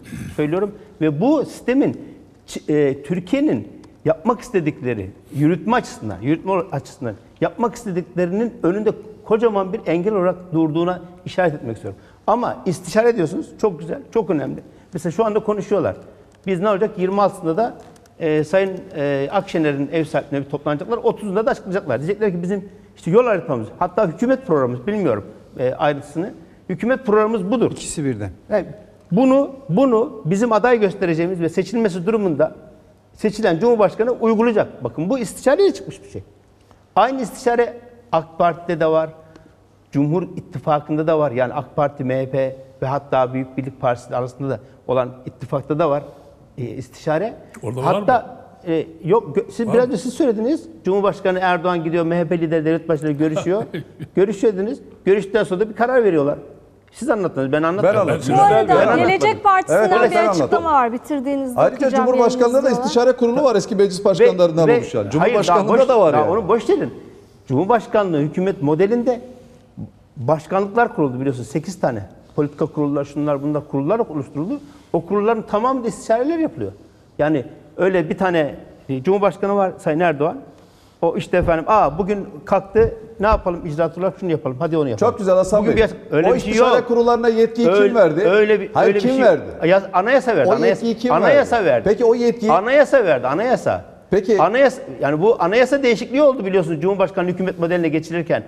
E, hükümetin başı Cumhurbaşkanıdır diye başlayan sonra da politika kurullarının oluşmasını dahil yani burada şemalarla anlattı Cumhurbaşkanı bütün televizyonlarda. Hatırlarsanız o referandum sürecini. Şimdi ben bitiriyorum. Gelecek Partisi'nin Ama bir bakın şeyi vardı. şimdi bu kurullarla ilgili Cumhurbaşkanı'nın düzenleme yapma yetkisi var. Şimdi, bakın, bakanlarla ilgili Sayın- de Sayın Vekilim. bakanların oluşturulmasıyla Sayın ilgili bir Vekilim. anayasa hükmü var mı? Sayın Ama Vekilim. sayısıyla ilgili var mı? Sayın Vekilim. Şimdi bana sistemi başta sona anlattırmayın ama. Hayır bakanların sayısı şu anda bakanların sayısını artırmakla bakın- ilgili bakın- bir anayasal bakın- madde var mı? bakın ben- Cumhurbaşkanı yetkisini de artırabilir. Bakın ben bir şey söylüyorum. Bir konuda yasa varsa orada Cumhurbaşkanı e, kanun hükmünde kararname çıkartamaz. Kanun hükmünde kararname çıkmışsa bir yasa çıktığı zaman o, o e, askıya düşer. Yani yürürlükten kalkar. Bu yani bu Bunu biraz önce söyledik Ha, ama bunu bunu bu yani hayır ben tekrar anlat, ne? anlatıyorum da yani. E, tamam, kendisi hani sanki böyle hani. Cumhurbaşkanı Zaten biz aynı şeyi söylüyoruz. Aynısı. Dolayısıyla bunu tekrar etmeye gerek yok. Ama ben bitireyim, toparlayayım bitireyim. Sayın Davutoğlu bunu kendi seçmenini konsolide etmek, kendi partisini konsolide etmek. Bakın bakın yani bize diyorlar küçük parti falan ama bakın Eşit olacağız biz diğer liderlerle. Altılı masada hatta yuvarlak kurduk o masayı. Hepimiz eşitiz demek Tabii, için diyor ki, söylüyorsa söylerken de biri böyle bir böyle bir olmayacak. baskın bir cümleler söylüyorsa ona hiç diyecek bir şey yok. Siyasetten söylemiştir. Ama gerçekten böyle bir şey yapmayı düşünüyorlar ise yani bu ki vah ki ne ya. Ya düşün. Şimdi e, altılı masada konuşulmadı diyor Hakan Tamam, Can. tamam, ben- Bakın hatta dayanamadı düşünmüyoruz ki dedi. Duydum ben fısıldayarak da dedi. Şimdi Gelecek Partisi'nden bir açıklama var. E, Sayın Davutoğlu'nun basın danışmanı Ufuk Karcı diyor ki Kübra Hanım Sayın Başbakan esasında yani Sayın Davutoğlu ilkesel bir husustan bahsetti. Cumhurbaşkanı kararnamesi değil Cumhurbaşkanlığı kararnamesini kastetti. Yani Cumhurbaşkanlığı kararnamesi çıkarmada eşit söz hakkı mı Ufuk Bey? Bu da çok karışık. Ee, aslında ne söylediği ve masada ne konuşulup konuşulmadığı 30 Ocak'taki lansmanda anlaşılacak. Bu geçiş süreci için geçerli. Güçlendirilmiş parlamenter sisteme geçildiğinde buna gerek kalmayacak. Geçebilirseniz e, tabii Ufuk Bey.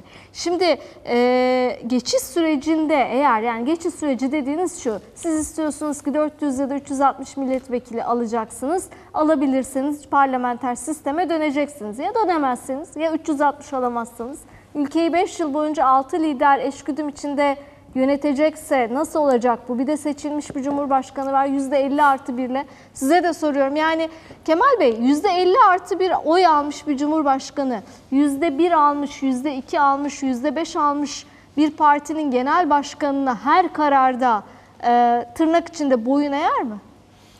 Şimdi e, ikiye ayırmak lazım e, bu açıklamayı. Birincisi e, siyaseten böyle bir şeyi kastettiğini e, düşünelim. Yani kardeşim Cumhurbaşkanlığı kararname istiyor. Bakın yeni Evet, açıklaması evet. yani gayet imza yetkisinden söz ediyor. Ee, yani siyaseten biz altılı bir partiyiz, ee, şey ittifakız. Dolayısıyla yürütme e, erkinde biz de söz sahibi olacağız. Seçmenlerimiz efendim e, kaygılanmasın. Onların kazanılmış hakları ortadan kalmayacak, kalkmayacaktır. Biz oradayız, bizim de yetkimiz olacak. Siyaseten bunu kastediyor Sayın Davutoğlu anladığım kadarıyla.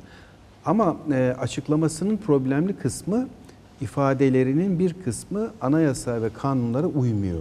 Dolayısıyla Mehmet Uçum'un itiraz ettiği e, konu e, bu cümlelerden zaten esinlenerek yapılıyor. Yani siz ortak imza yetkisine sahip olacaktır diye bir cümle kurarsanız bu Mehmet Uçum'a e, e, böyle bir açıklama yaptırma hakkı verir ki e, hani biz hukukçu değiliz ama Ona, ona, ona itiraz etmedik zaten. evet biz itiraz ettiğimiz sivil darbe olayı neydi? Evet, onu ona da ona da değineceğim. Şimdi e, bunu bence düzeltmesi lazım e, Sayın Davutoğlu'nun. E, yani Gelecek Partisi'ndeki yetkililer Yani 30 Ocak'ta bana- göreceksiniz Yo, hayır, gibi ben- bir şey, açıklama bu hafta yapıyorlar ama içinde çok 30 Ocak'a kadar bu altılı masaya büyük zarar verecek bir açıklama Ee, bence. Şahsi Yani Gelecek Partisi'nden bana yazan arkadaşlar bu hafta içerisinde Sayın Davutoğlu'nun bu görüşlerine açıklık getireceğini söylüyor. Burada bir problem var. Yani e, anayasa ve kanunlarla e, belirlenmiş bir yetkiyi siz prensiplerle bunu düzenleyemezsiniz. Bu imza yetkisini veremezsiniz. Ha iktidar olduğunuz Cumhurbaşkanı kararnamesi ya da kanunlarla ya da anayasa değişikliğiyle bu yetkilerin bir kısmını yardımcılarınıza devredecek bir düzenleme yaparsanız ki bence bu anayasa değişikliğine de e, tekabül edebilir. E, bu olabilir böyle bir şey ama birazcık karışık. Yani altılı masanın bugüne kadar bana göre en çok problem olduğu konu da bu. Karışık bir e, görüntü veriyor. Karışık bir imaj veriyor. Karışık bir açıklamalar zinciri oluşuyor. Kafamız karışıyor. Seçmenin de kafası karışıyor. Bu sadece Sayın Davutoğlu'nun açıklamaları ile ilgili değil. İşte İyi Parti Genel Başkanı'nın veya Cumhuriyet Halk Partisi Genel Başkanı'nın birbirleriyle ilgili yaptığı açıklamalarda da kafamız çok karışıyor. Seçmenin kafası da çok karışıyor. Bunların hepsi açıklandı ama Bu- Kemal Bey. Yani bu bu kafa karışıklıklarını e, yani, Yani adaylar konusundaki şeyden bahsediyor. Çarparım plan meselesini hatırlıyorum. yani bu kafa karışıklığını seçmenin kafa karışıklığını e, giderdiğini söyleyemeyiz. Şimdi Sayın Mehmet Uçum'un e, konuşmasını çok dikkatli izledim ben. E, bu açıklamalar içerisinde sivil darbe tanımını e, hem çok sert hem e, oldukça e, tartışılır ve bana göre tıpkı Sayın Davutoğlu'nun açıklaması gibi düzeltmeye muhtaç bir konu olarak görüyorum. Neden? Şu, açıdan Sayın Davutoğlu imza yetkisini ortak kullanacağız cümlesi nasıl ki kanunlara ve anayasaya e, aykırı olarak e, tartışılıyorsa sivil darbe ithamı da anayasal bir suçtur. Kanuni bir suçtur yani. E şimdi darbeye teşebbüs e, mü olacak yani bu altılı masa liderleri ya biz böyle bir imza yetkisini konuşacağız dediğinde o zaman bir darbeye teş- teşebbüs mü olacak bu? Yani sivil darbe iddiası darbe sivil darbeyi de sonradan ekledi kendisi. Önce darbedir dedi. E şimdi anayasal düzeni ortadan kaldırmak için bir darbe girişimi kanunlarımıza göre en büyük suçlardan bir tanesi. E, dolayısıyla e, bu suçu işliyorlarsa suç duyurusunda bulunması lazım. Bu suçu işliyorsa savcılar harekete geçmesi lazım. Böyle son derece komplikasyonları büyük olabilecek bir söz bence bu. Bu sözü de hani ben de e, danışmanlık yapmış birisiyim e, eski dönemde. E, bu sözleri söylediğinizde ciddiye alır insanlar. Evet. Kemal'cim Cumhurbaşkanlığı özellikle bir- bir- Hukuk bir- Politikaları Kurulu Başkan Vekiliyseniz o şekilde daha çok o dikkate şekilde değer. biraz önce söyledim ya. Alınır. Bağlayıcılığı bir- da var. Bir siyasetçi olarak söylemiş olsa dersin ki bu siyasi olarak söylenmiş bir laf. Hani o da kabul edilmez ama geçiştirirsin. Ama bir hukuk politikaları e, bir bir odası veya daire Kurulu. başkanı olarak tanımlıyorsa böyle bir şeyi bu yani Yani bir e, şey değil. Sayın Uçum'un bunu e, retorik olarak ve siyasi olarak hani bu bir sivil darbe olur. Hani biz de zaman zaman kendi aramızda kullanırız bunu. Böyle bir amaçla kullanmışsa bu başka bir hani e, ama öyle öyle konuşmuyor yani. Ve ben siyasi yorum yapmam sadece hukuki yorum Evet, yapıyor evet diyor. onu da söylüyor. E şimdi hukuki olarak sivil darbe diyorsanız bunun e, gideceği yer başka bir yerdir. Bu e, bence önemli bir problem. Şimdi, Şimdi e, bir de bunun sahadaki yansımasında konuşalım mı? Bakın altı editörümüz Erdem de Cumhurbaşkanı Erdoğan sözlerini hatırlatıyor. Diyor ki Erdoğan 6 kişiyle ülke yönetilir mi? Şimdi aslında Cumhur İttifakı'nın sahada indiğinde meydanlara ne söyleyeceği belli. Diyecek ki bir kişi mi yönetsin? 6 kişinin e, kuklası olmuş bir diğer cumhurbaşkanı mı yönetsin? Bu kukla lafını bugün Hamza Dağ da kullandı. AK Parti'den grup başkan vekillerinden biri daha Bunları kullandı. kullanmasak daha iyi tabii. He? Yani. yani kullanılmasa kukla tabirleri mesela siyasette daha şık yani. durur yani kukla falan. Eyvallah. Yani yani 6 kişiyle ülke yönetilir mi dediklerinde bu seçmende bir tedirginlik mi yaratır yoksa tam tersine ya biz zaten tek adam rejimi istemiyoruz, yönetimi istemiyoruz. Bırakın biraz da 6 parti lideri yönetsin mi der seçmen. Şimdi işin zorluğunu kabul etmek lazım. Yani altı farklı siyasi partinin bir araya gelip bir ortak hükümet programı çıkarması da, yol haritası çıkartması da, bir ortak Cumhurbaşkanı adayında anlaşması da çok zor. Buna çaba gösteriyorlar. Ben bu çabayı çok takdir ediyorum. Demokrasimiz açı- açısından güzel bir şey. Yani Saadet Partisi ile Cumhuriyet Halk Partisi'nin bir arada bu kadar uyum içerisinde çalıştığı tarihte görülmemiş bir şey. Bu demokrasimiz açısından takdire şayan bir şey. Kutuplaşmayı engelleyici bir şey. Bunları çok takdir Yani ediyorum. niyet iyi de pratikte yansımasıyla ilgili sıkıntı var mı Bakın ben yani bugün e, o kadar farklı e, çevrelerde insanlar bana bu konuyu sordular ki hepsinden şu cümleyi du- duydum Ahat Bey. Yani bir tanesi Ataşehir'de Cumhuriyet Halk Partisi'nin belediyesinin olduğu bir yer. Bir tanesi e, Üsküdar'da, bir tanesi Ümraniye'de. İnsanlar ya ne olacak Kemal Bey durum dediğinde sence ne olacak diye sorduğunda ya çok karışık ortam. Bu karışık cümlesi üstadım sizin altılı masanın insanlara vermiş olduğu bir imaj ve bir algı. Mesela hükümet çevresi çok karışık demiyor. Yani çok karışık ortalık yani. Ne yapacağız? Yani bu e, insanların veya iktidar partisinin sizi zorla sürüklediği bir şey değil. Siz altı partinin liderleri olarak kendi kendinize e, bu algıyı ürettiniz. Yani kimse size şöyle bir şey demedi yani. Sayın Meral, Meral Akşener Habertürk'e çıksın. Ben e, biz noter değiliz, noter partisi değiliz desin de ortalık karışsın. Hani kimse bunu zorlamadı. Sayın Akşener bunu isteyerek yaptı, bilerek yaptı. Yani Ve biz de şunu söyledik kendisine. Değerlendirmeyi oraya çekersen o zaman ona bir e, e, altyapı oluşturmam gerekir. Tamam siz cevap verebilirsiniz. Bakın sizin e, partilerin, iki partinin lideri yani. Bir odaya girseydiniz. Baş başa tartışsaydınız. O ona söylesin, o ona söylesin. Biz gazeteciler bunu hiç duymazdık. Size de bu cümleleri hiç kuramazdık. Ama öyle olmadı. Sayın Kılıçdaroğlu bir mesaj veriyor. Sayın Akşener bir mesaj veriyor. Sayın Davutoğlu da bir mesaj veriyor. Bakın siz de bu arada şu tespit de al, yani yapalım. Tam böyle işte Sayın Kılıçdaroğlu ile Akşener'in arası mı gergin birbirlerine basın üzerinden mesaj veriyorlar. Vermesinler, baş başa görüşsünler falan deniyordu. Baş başa görüştüler. İkisi birbirine medya üzerinden mesaj vermeyi şey bıraktığı hafta Davutoğlu bir e, bu, yani tabiri caizse yine bir bomba koydu Evet, ortaya. Şimdi- El bombası. Hani bırak. böyle bir şey olabilir fakat bakın Kimini o çek- partinin en önemli isimlerinden bir tanesi. Bu masada görüşülmedi diyor. Evet, ve Şimdi bu masada görüşülmediyse Sayın Davutoğlu'nun da yani bu benim Ya kişisel görüşü, görüşümdür. kişisel Sayın yani. kişisel görüşümdür. Böyle bir teklifim de var. Sayın Öyle demiyor Temel ama Bey'in bakın basın Ha, onu söyleyeceğim. sıcak Yani Temel Bey'in e, efendim bir istişare mekanizmasıyla ne bileyim bir şurayla ne bileyim böyle bir şeyle yapılacak. Ya bunları kendi aranızda tartışmanız lazım. Tabii, Bunları tabii. kendi masanızda tartışmanız lazım. Bunu kamuoyuna açıklarsanız 30 Ocak'ta Kemal'cim, açıklayacaksanız Kemal'cim, 30 Ocak'ta şimdi açıklayın. bir, bir konuda anlaşalım. buyurun. Liderlerin davranış modelleri üzerinden burada yani kişisel görüşün o olabilir. Ona katılıyorum. Yani ona saygı da duyarım ayrıca. Ama onları burada bizim onları savunacak konumda değerlendirmemizi bekleme. Yani çünkü o günün koşulları içerisinde, o günün koşulları içerisinde yapılması gereken, kendileri açısından yapılması gereken oydu muhtemelen. Anlatabildim mi? Şimdi geçmişe yönelik olarak biz Eski onu açıklamaları için. Önümüze bakalım diyor. Sizi anlıyoruz. Abi önümüze bakalım artık diyor. Sizi, sizi anlıyoruz. hocam. Yani Ama Anladınız şu anda bakın bugün Ahat Bey e, Sayın Meral Akşener'in mesajlarıyla ilgili söyledi. Belki de aday belirlemesi şöyle bir Bu söylediği şeyler. şöyle bir etkisi var hocam. Şöyle bir etkisi var. Ben bugün bu televizyon kanalına gelirken sokakta o konuşmaların, o tartışmaların yansımalarını alarak geliyorum. Ha bir, bir, bir şey Demek daha ki var. devam ediyor O zaman etkisi izin bunun ver yani. bir şey daha söyleyeyim. Şimdi bir gazeteci olarak senin bu olayı bir karmaşa olarak algılamanı doğal karşılıyorum. Saygı da duyuyorum. Ama seçmen tabanları açısından bakıldıkta partilerin seçmen tabanlarında bunun öyle düşünüldüğü kadar seçmen davranışını değiştirecek, seçmen davranışını geliştirme noktasında karar verdirecek falan şeyler olduğunu da düşünmüyorum. Peki bu Ya bu da benim- bu da etkiler benim mi? algım. Ben- Ay, Hemen Gürsel Erol'a da geleceğim. Faruk Aksoy da konuşamadı ama sıcı, kısacık bir şey.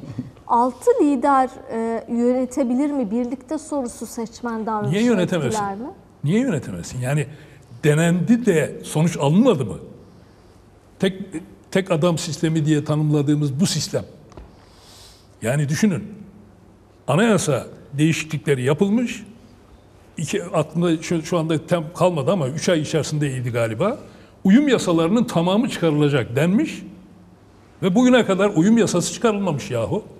Yani böyle bir e, şeyden bahsediyoruz, yönetimden bahsediyoruz. Bugün Mehmet Uçum da bu Bugün- eksiklikleri dile getirdi. Hayır, bu, bu- bunu eksiklik diye Pandemi geçiremeyiz. Bu işin özü, özü- bu işin özü eksiklik diye geçirebilir miyiz?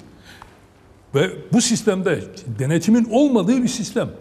Yani nasıl tek, tek- bir tek adam istediği gibi gidiyor. Uluslararası görüşmeler yapıyor. Yanında bir tane resmi şey yok. Nasıl? Taahhütler veriyor, hocam, öyle- vermiyor. nasıl? Öyle de değil Bilmiyor. yani. Nasıl? Hayır, bilmiyor. Nasıl? Ya bu, kadar da bu, bunu değil bu ya. kadar bu kadar Bir dakika, bir bu dakika kadar Hasan Bey. Bir dakika, aşağı lütfen. çekmeyin. Bir dakika. Kim Bilmiyoruz. yok resmi olarak? Bilmiyoruz. Nasıl bilmiyorsunuz? Bilmiyoruz. Neyi bilmiyoruz? Neyi bilmiyorsunuz? Ne taahhütler verildi, geleceğe yönelik Kime? ülke nasıl... İkili baş başa görüşmeleri kastediyorsunuz, değil mi? tut da şeye kadar. Bilmiyoruz İkili baş başa görüşmeleri. Faruk Şimdi- Bey'e bir söz vereceğim. Altılı, altılı bir Başbakanlar da yapıyorlardı. beşli, üçlü, ikili neyse bir Clinton'ın karşısındaki rejimde- Ecevit hangi taahhütte rejimde Rahmetli Ne olursa mesela. olsun partiler birbirlerini denetleme imkanına sahipler. Yahu bugün anayasayı açın bakın. Bir bakan hakkında, bırakın Cumhurbaşkanlığı, bir bakan hakkında bir soruşturma önergesi verebilmek için gerekli olan şey, kabul edilmesi için gerekli olan şey, Yüce Divan'a gitmesi için gerekli olan şey. 301 oy gerekiyor verebilmek için. Teklif edebilmek. Teklif edelim. edebilmek Üçte bir, için. işte artı yani. bir. Teklif edebilmek için. 360 oy gerekiyor. Ne, ne için? Soruşturma açılması. Açılması için. Yüce Divan'a gönderebilmek için 400. 400'ün üzerinde oy. Yahu bugün bu ülkede 400'ün üzerinde oyla anayasa değiştiriliyor ancak. Bu haklı bir eleştiri Ama bence. yani şimdi böylesine ölümcül, böylesine hayati bir noktada denetim tamamen olmadığı, imkansızlaştırıldığı bir sistem yürüyor da 6 tane lider de yani ben 6 lider otursun biraz önce tartıştığımız şekilde öyle olsun manasına söylemiyorum. Ama kendilerine göre bir model herhalde oluşturacaklar. Ayın 30'unda da bunu göreceğiz. Yani daha ortada nasıl bir model önerdiklerini bilmeden, E, görmeden... bildikçe Ben Davutoğlu'nun söyleyeceğim önerisi. şimdi. Nasıl bir model bir dakika. önerdiklerini hocam? Sayın Cumhurbaşkanı siyaseten söyler. Onu, Yok, ben de söyleyeceğim. katılıyorum. Altılı masanın Ama, ihtimallerini hepsini söyleyeceğim. evet, başka, evet. başka ihtimaller ihtimal üzerinden nasıl bir değerlendirme Tabii. yapılabilir? Tabii. Bu nasıl bir sistem önerdiklerine bağlı. Önereceklerine bağlı. 84 maddeyi de okuduk Sayın Bakanım. Ütopik bir sistem önereceklerse ben de katılmam. Bak gayet açık söylüyorum. Gayet açık. Çünkü Siz- bu konularda bu konularda Anayasa yani bizim teklifini okudunuz mu Sayın Bakanım? şimdi bir dakika şey. Bir dakika ütopik bir şey önerirlerse ben de katılmam diyor. Sayın Hatancı'dan bu, bu, bu akşam çok önemli açıklamalar. Sonunda manşeti kalmasın. Üto- ütopik bir de- değerlendirme ve bir yöntem getiriyorlarsa olamayacağına vicdanen ben katılmıyorsam şahsen ben katılmam. Yani bunu geçmişte de ben birçok örnekte sergiledim. Onda en ufak bir sıkıntı yok. Ama bilmiyoruz. Bakalım ayın 30'unda bizim önümüze nasıl bir yol haritasıyla beraber nasıl bir yönetim modeli koyacaklar. Bu konduktan sonra bunu bu tartışmayı yaparsak o zaman daha doğrudur. Ama şu anda niyet okuma yapar gibi O zaman şimdiden Yani bu böyle şeyler söylemeseler 30 Ocak'ta açıklanacak Söylediğim bir şey gibi Sayın Cum- 20 gün yıpranmaz Ben, bu ben mesele o, ko- belki. o konuya tekrar dönmek istemiyorum. O konudaki görüşümü söyledim. Yani o Sayın Davutoğlu'nun e, ifadeleriyle ilgili. Burada Sayın Cumhurbaşkanı'nın bu şekilde bir değerlendirme yapmasına hayır demem. Çünkü siyaset yapıyoruz. Ben de benzer bir şey olsa belki ben de benzer bir değerlendirme yapardım. O da bir ayrı konu. Ama yani bunu yorumcu olarak bizlerin sanki böyle bir şey tamamen olmuş gibi onun üzerinden inşa e, yorum inşa etmemiz doğru olmayabilir. Niyet okumak olur. Ama şimdi Faruk ta- tahmin ediyorum. Ben hocam size sistemi çok alternatif bir şey Ben koyacak. sizi de meraktan kurtaracağım hocam. Değerli hocam şimdi kendi, siz söylediniz. Nasıl bir sistem getirecekler göreceğiz diyor. Aslında biz Ahat Hoca'dan bekliyoruz nasıl bir sistem getireceklerini. Tabii. Ahat Hoca da diyor ki nasıl bir sistem getireceklerini hep birlikte Hayır, hayır, göreceğiz. Ütopik bir şey getirirlerse ben de Getirirlerse vallahi ben de kabul etmem diyor. Bu da tabii Çok samimi. bu, bu da çok sam gerçekten çok samimi bir açıklama. Şimdi anlatayım mı ben? Evet lütfen. Peki şöyle Saadet bir Partisi'nden de mesaj Bir var. kere şu konu önemli. Mehmet Uçum konusuyla başladık. Ee, Sayın Uçum'un darbe tanımlamasına külliyen karşıyım. Öyle bir tanımlama olmaz. Yani o tanımlamayı doğru bulmadım. Gerekçesi şu. Benim gerekçem şu.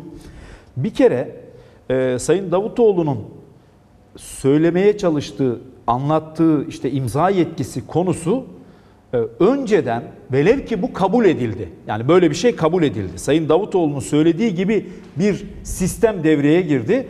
Bu seçimden önce karara bağlanmış olacağı için seçimden sonra yani önceden bilinen bir şey seçimden sonra uygulanırsa buna darbe falan diyemeyiz, demeyiz. Yani burada ne yapacağımızı kararlaştırdık, imza altına aldık. Sonra seçimi aldık. Burada anlaştığımız konuyu yönetimde uyguluyoruz. Yani bu darbe falan olmaz. Zaten biliyorsunuz Şey, ne anayasayı askıya almış oluyorsunuz ama. Ha şimdi onu söyleyeceğim. İşte anayasa meselesi o. Şimdi Sayın Davutoğlu'nun iddiaları bırakın anayasayı aslında mantıken tartışılıyor. Yani biz anayasadan öte bunu mantıksız bulduğumuz için tartışıyoruz. Anayasa tamam hukukçular konuşur. Al burada bu madde var burada. O değil. Mantıktan ziyade mesela bugün ben şey sorguladım. Yani 6 lider eşit söz hakkına sahip olacak. E, o sandıktan sonuçta bu partileri çıkaracak oy oranları var.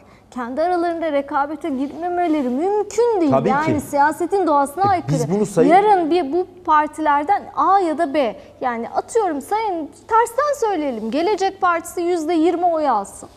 Ee, İyi Parti'de yüzde bir oy alsın. Gelecek Partisi İyi Ağzından Parti yer alsın. liderinin- Aa, evet.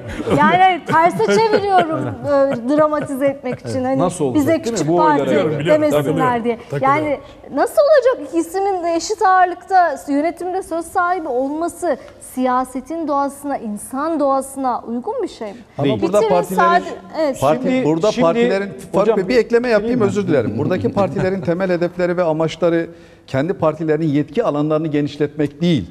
Devleti yeniden tanımlamak. İkisi birbirinden devleti farklı. yeniden Nasıl? tanımlamak da burada Devletin şöyle bir durum var. Ben neden tanımlama. Gürsel Bey ben neden şimdi Davutoğlu'nun Sayın Davutoğlu'nun açıklamasının kanuni mi değil mi tartışmasından öte mantık mantık tartışması içinde konuşulduğunu düşünüyorum. Çünkü Profesör Emre Kongar 2-3 gün önce ilginç bir yazı yazdı. Ve ne dedi biliyor musunuz? Haddini bilmek. E, Demokrasi ve haddini bilmek. Yani oy oranı işte yüzde 0.5 şu kadar falan falan diye bir ta- tanımlamalar yaptı. Laik demokratik hukuk devleti içerisinde e, işte AK Parti döneminde bakanlıklar yapmış, başbakanlıklar yapmış isimlerin e, hadlerini bilmeden kalkıp Cumhuriyet Halk Partisi ve İyi Parti ve HDP işaretlemesini yaptı Emre Hoca.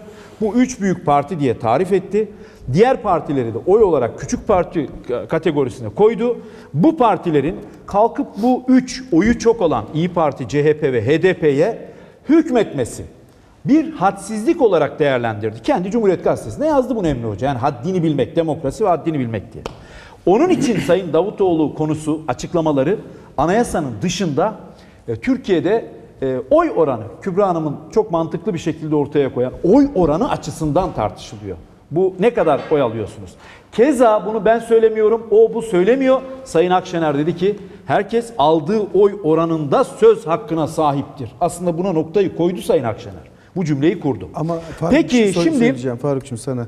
Kılıçdaroğlu da aynı cümleyi kurmamış mıydı? Altı lider birlikte yöneteceğiz diye söylemişti Şimdi altı lider birlikte yöneteceğiz demek Sayın Kılıçdaroğlu bir süre önce de Hatta aynı e, yetkiye bir sahip süre önce de dedi. helalleşme çıkışı yapmıştı. Şimdi Kemal Öztürk şöyledir. Bunlar seçime giderken konuşulur.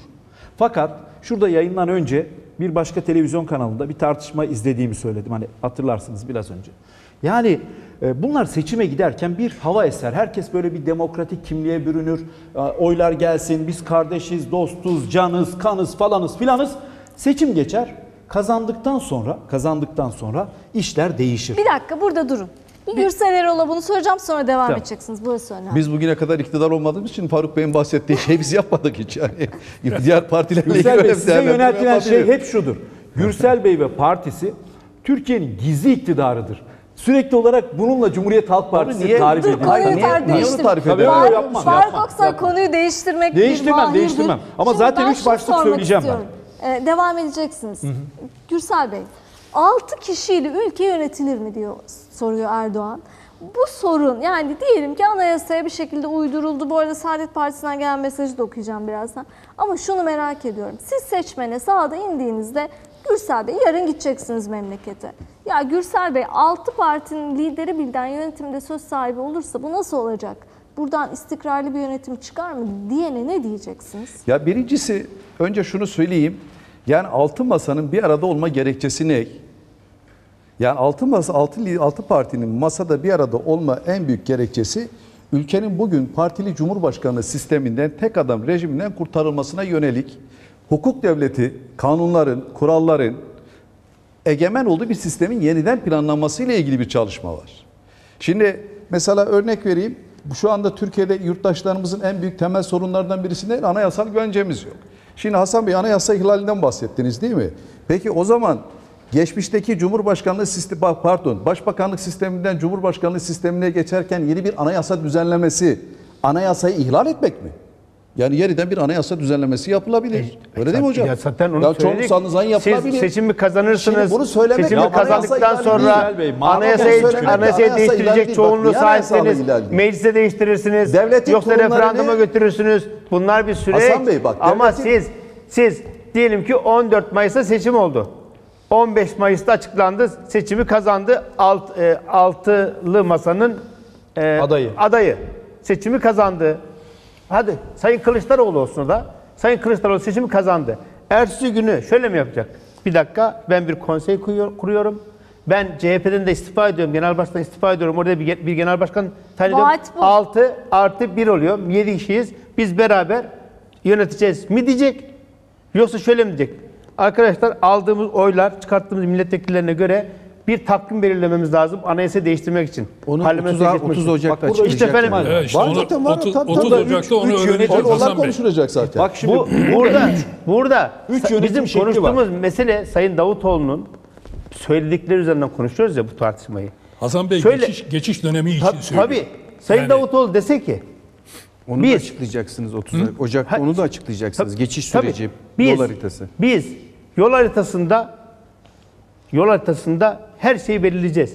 Ama yol haritasını belirlemek için 6 kişi, 6 genel başkan oturacağız çatır çatır çatır konuşacağız, tartışacağız. Altımızda imzayı çakacağız. Karar vereceğiz. bu işte buyurun diyeceğiz. sonra mümkün değil ki böyle bir şey. Zaten öyle oluyor. Şimdi orada müthiş öyle bir uzlaşma zemini. Orada üç tane ihtimal var, Ama öyle bakın. demiyor. Biz diyor stratejik kararlarda Cumhurbaşkanı yani seçimi kazandılar. Hükümet kuruldu. Cumhurbaşkanı hükümeti kurdu. Kendisi Cumhurbaşkanlığı hükümetinde bir bakan olsa bile bu cümleleri söyleme orada- yetisine sahiptir. O- Bakın ben onu söylüyorum. Bir saniye. Bir dakika, Ama bir dakika. Hükümette olmayacak. Hükümette olmayacak. Cumhurbaşkanı hükümeti kuracak. Ama atıyorum ya Suriye tezkeresini meclise gönderecek. Bir dakika diyecek ya bu çok stratejik bir karar. Ben istemiyorum. Ya da istiyorum. Öbür taraftan CHP'nin yeni genel başkanı hani sizin genel başkanınız Cumhurbaşkanı olsa genel başkan bir dakika ya biz bir, bir öncekine hayır demiştik. Ne yapalım? Buradan bir karar çıkar mı? Evet, Biz buna bir itiraz ediyoruz. cevabını duyalım. Bir dakika. Şimdi bir bak cevabını zaten duyalım. sizin bu bahsettiğiniz kurul. Cumhurbaşkanlığında var. Cumhurbaşkanlığı İstişare Kurulu var. Onu demin bahsettim. Cumhurbaşkanı İstişare Kurulu da Kıymetli Cumhurbaşkanı vekilim. kararnamesiyle kurulmuş. Anayasal bir Kıymetli kurum vekilim. değil. Bak anayasal bir kurum değil. Ne diyor tanımlamasında? Geçmişte devlette Kuruldakiler imza mı atıyor üst Cumhurbaşkanıyla düzey beraber? yöneticilerin Bilgisinden, beraber imza atıyor? Yararlanmak için bir istişare Ben bir kurulu şey var. soruyorum ya. Ben Ahmet Davutoğlu'nun Ben bir şey bunu soruyorum. söylerken neyi kastettiğini yani bu işin sonucuyla ilgili planlamasının ne olduğunu onun adına yorumlayamam. Bu önümüzdeki dönemde zaten önümüzdeki günlerde gündeme gelecek. E, Ahmet masa- bir sizde ütopik bir şey gelirse Seçim- ben de olabilir istemem. yani. Şimdi Bey, partiler zaten- zaten, yani birisinin önerisi diğerlerinin kabulü anlamında değil ki. Ya Gürsel Öneri Bey, değil, olabilir. tane öneri ihtimal değil. Öneri de var. gelmiş olabilir. Öneri değil. Şimdi anayasanın ihlaliyle ilgili bunu değerlendirmek doğru değil. Bak ben yine söylüyorum. Ben bir anaya- siyasetçi anayasal de- Hasan Bey bak bir siyasetçi mantıklı mı değil mi o Şimdi konuşuluyor. bir dakika Anayasa Faruk Bey. ihlali değil Bir si- söz ama bak konusu olan. burada önemli olan şu. Bir siyasetçi bunu yorumlayabilir. Mesela Ömer Çelik AK Parti'nin parti sözcüsü olarak Evet. kalkıp Ahmet Davutoğlu'nun bu söylemiyle ilgili her türlü yorum yapabilir. Hakkıdır. Bunu siyaset diline çevirebilir. Ben yapamaz mıyım? Ama devlet siz de yapabilirsiniz. Ya Basın Mehmet da yapabilir. söylediğini söylüyorsanız Akademisyenler de yapabilir. bunun Yazarlar, darbe düşünürler. yanlış olduğunu zaten ifade Ama bir ettik. şeye geleceğim. O darbe yanlış olduğunu yanlış ifade etmek yalnızca tek yani. başına yeterli değil. Cumhurbaşkanlığında görev alan bir kamu görevlisinin Evet. bunu söylemesi Ahmet Davutoğlu'nun bu söyleminden daha tehlikelidir ülke için. Ne demek sivil darbe? Peki. Yani Cumhurbaşkanlığında şu, görev bak, alacaksın ve sivil Gürsel darbe Bey, ile şimdi ilgili söyleyeyim. Türkiye'nin gündemine bir söylem yerleştireceksin. Bakın 3 Böyle tane şey ihtimal mi? var. 3 ihtimal var. Seçimi Millet İttifakı aldı. Bak net söylüyorum. Cumhurbaşkanı Sayın Kılıçdaroğlu oldu. Tamam mı?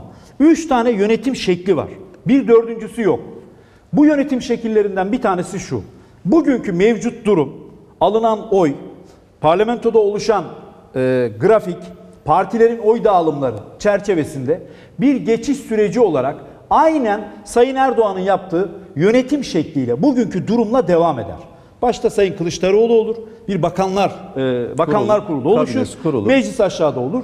Türkiye Cumhuriyeti Devleti'ni tekrar parlamenter sisteme geçirmek için sistem işler. İki, iki. Doğru. İkincisinde Sayın Davutoğlu'nun söylediklerini baz alırsak, Cumhurbaşkanının üstünde başkanlardan oluşan bir konsey olur. Konsey olur, onu söylüyorum. Altta Cumhurbaşkanı olur. Cumhurbaşkanı kendi seçtiği bakanlardan daha altta bir bakanlar kurulu oluşturur ve altta meclis olur. Bu ikinci yönetim şekli. Ya bunu Üç. herkes kimse evet Üç. diyebilir mi yani? Bir saniye. Mantığı var mı? Davutoğlu Ya bunu- savunuyor. Ya Ya bir bir mantığı bitir- var mı ya? Ve başbakan, eski başbakan savunuyor. Peki, ya senaryo ihtimalleri söylüyorum. Tamam üçüncü. İhtimalleri söylüyorum. Ama böyle bir Üçüncü- senaryo olur mu yani? Cumhurbaşkanı E, senaryo işte orada. Bey. altında olur, üstünde Ya olmaz. Gürsel Bey söylüyorum işte. Eşgüdüm Ya karşılık öyle veriyor şey hocam. olur mu? Neye itiraz ediyorsunuz? Anlamadım ki. Ben size Sayın Davutoğlu'nun konuşmasını baz alırsak diye girdim cümleye. Sayın Davutoğlu diyor ki biz parti genel başkanları olarak her konuyu istişare edip imza yetkisine sahibiz. Ya İstişare aynen şöyle demiyor ya. mu? Şöyle İstişare diyor. falan işte demiyor. Şöyle diyor. Hayır bak burada yazmışız diyor. Cumhurbaşkanına söylüyor. O zamanki Cumhurbaşkanı olacak e, Sayın Genel Başkan'a diyor. Bak buraya yazmışız diyeceğiz diyor. Bu ne demek? Bu şu demek. Bir konsey var. Genel başkanlardan. ikinci yönetim Peki bu şekli. vesayetle Altta ilgili- Cumhurbaşkanı. Kendinizi zora Bitireyim. sokmayın, biz de Ya kabul etmeyiz, bu kadar basit. Gürsel Bey bir Kabul bitireyim. etmeyiz ya, bu Bak kadar çok zora bekledim girmeyin ben. Bir bitireyim söyle meramımı anlatayım ya. Altta O zaman biz niye tartışıp duruyoruz? ya Cumhurbaşkanının altında bakanlar ama ben sizi sükunetle dinledim Evet, değerli bitir- büyüklerim. evet, Faruk. Bitireyim tamam ama bitiremedim ki. Altta Cumhurbaşkanının altında bakanlar, onun altında meclis. Bir üçüncü şık var yönetim şekli olarak. Zaten bunun dışında başka bir şey olmuyor. Bir Cumhurbaşkanı, Cumhurbaşkanının altında bugünkü parti genel başkanlarının oluşturduğu bir bakanlar kurulu. Tamam mı? Onun altında meclis ve bütün bunlarla birlikte parlamenter sisteme geçiş süreci. Doğru. Şimdi 1961 anayasasında mesela 61 anayasasında halkın %61'inin oyuyla kabul edildi o anayasa.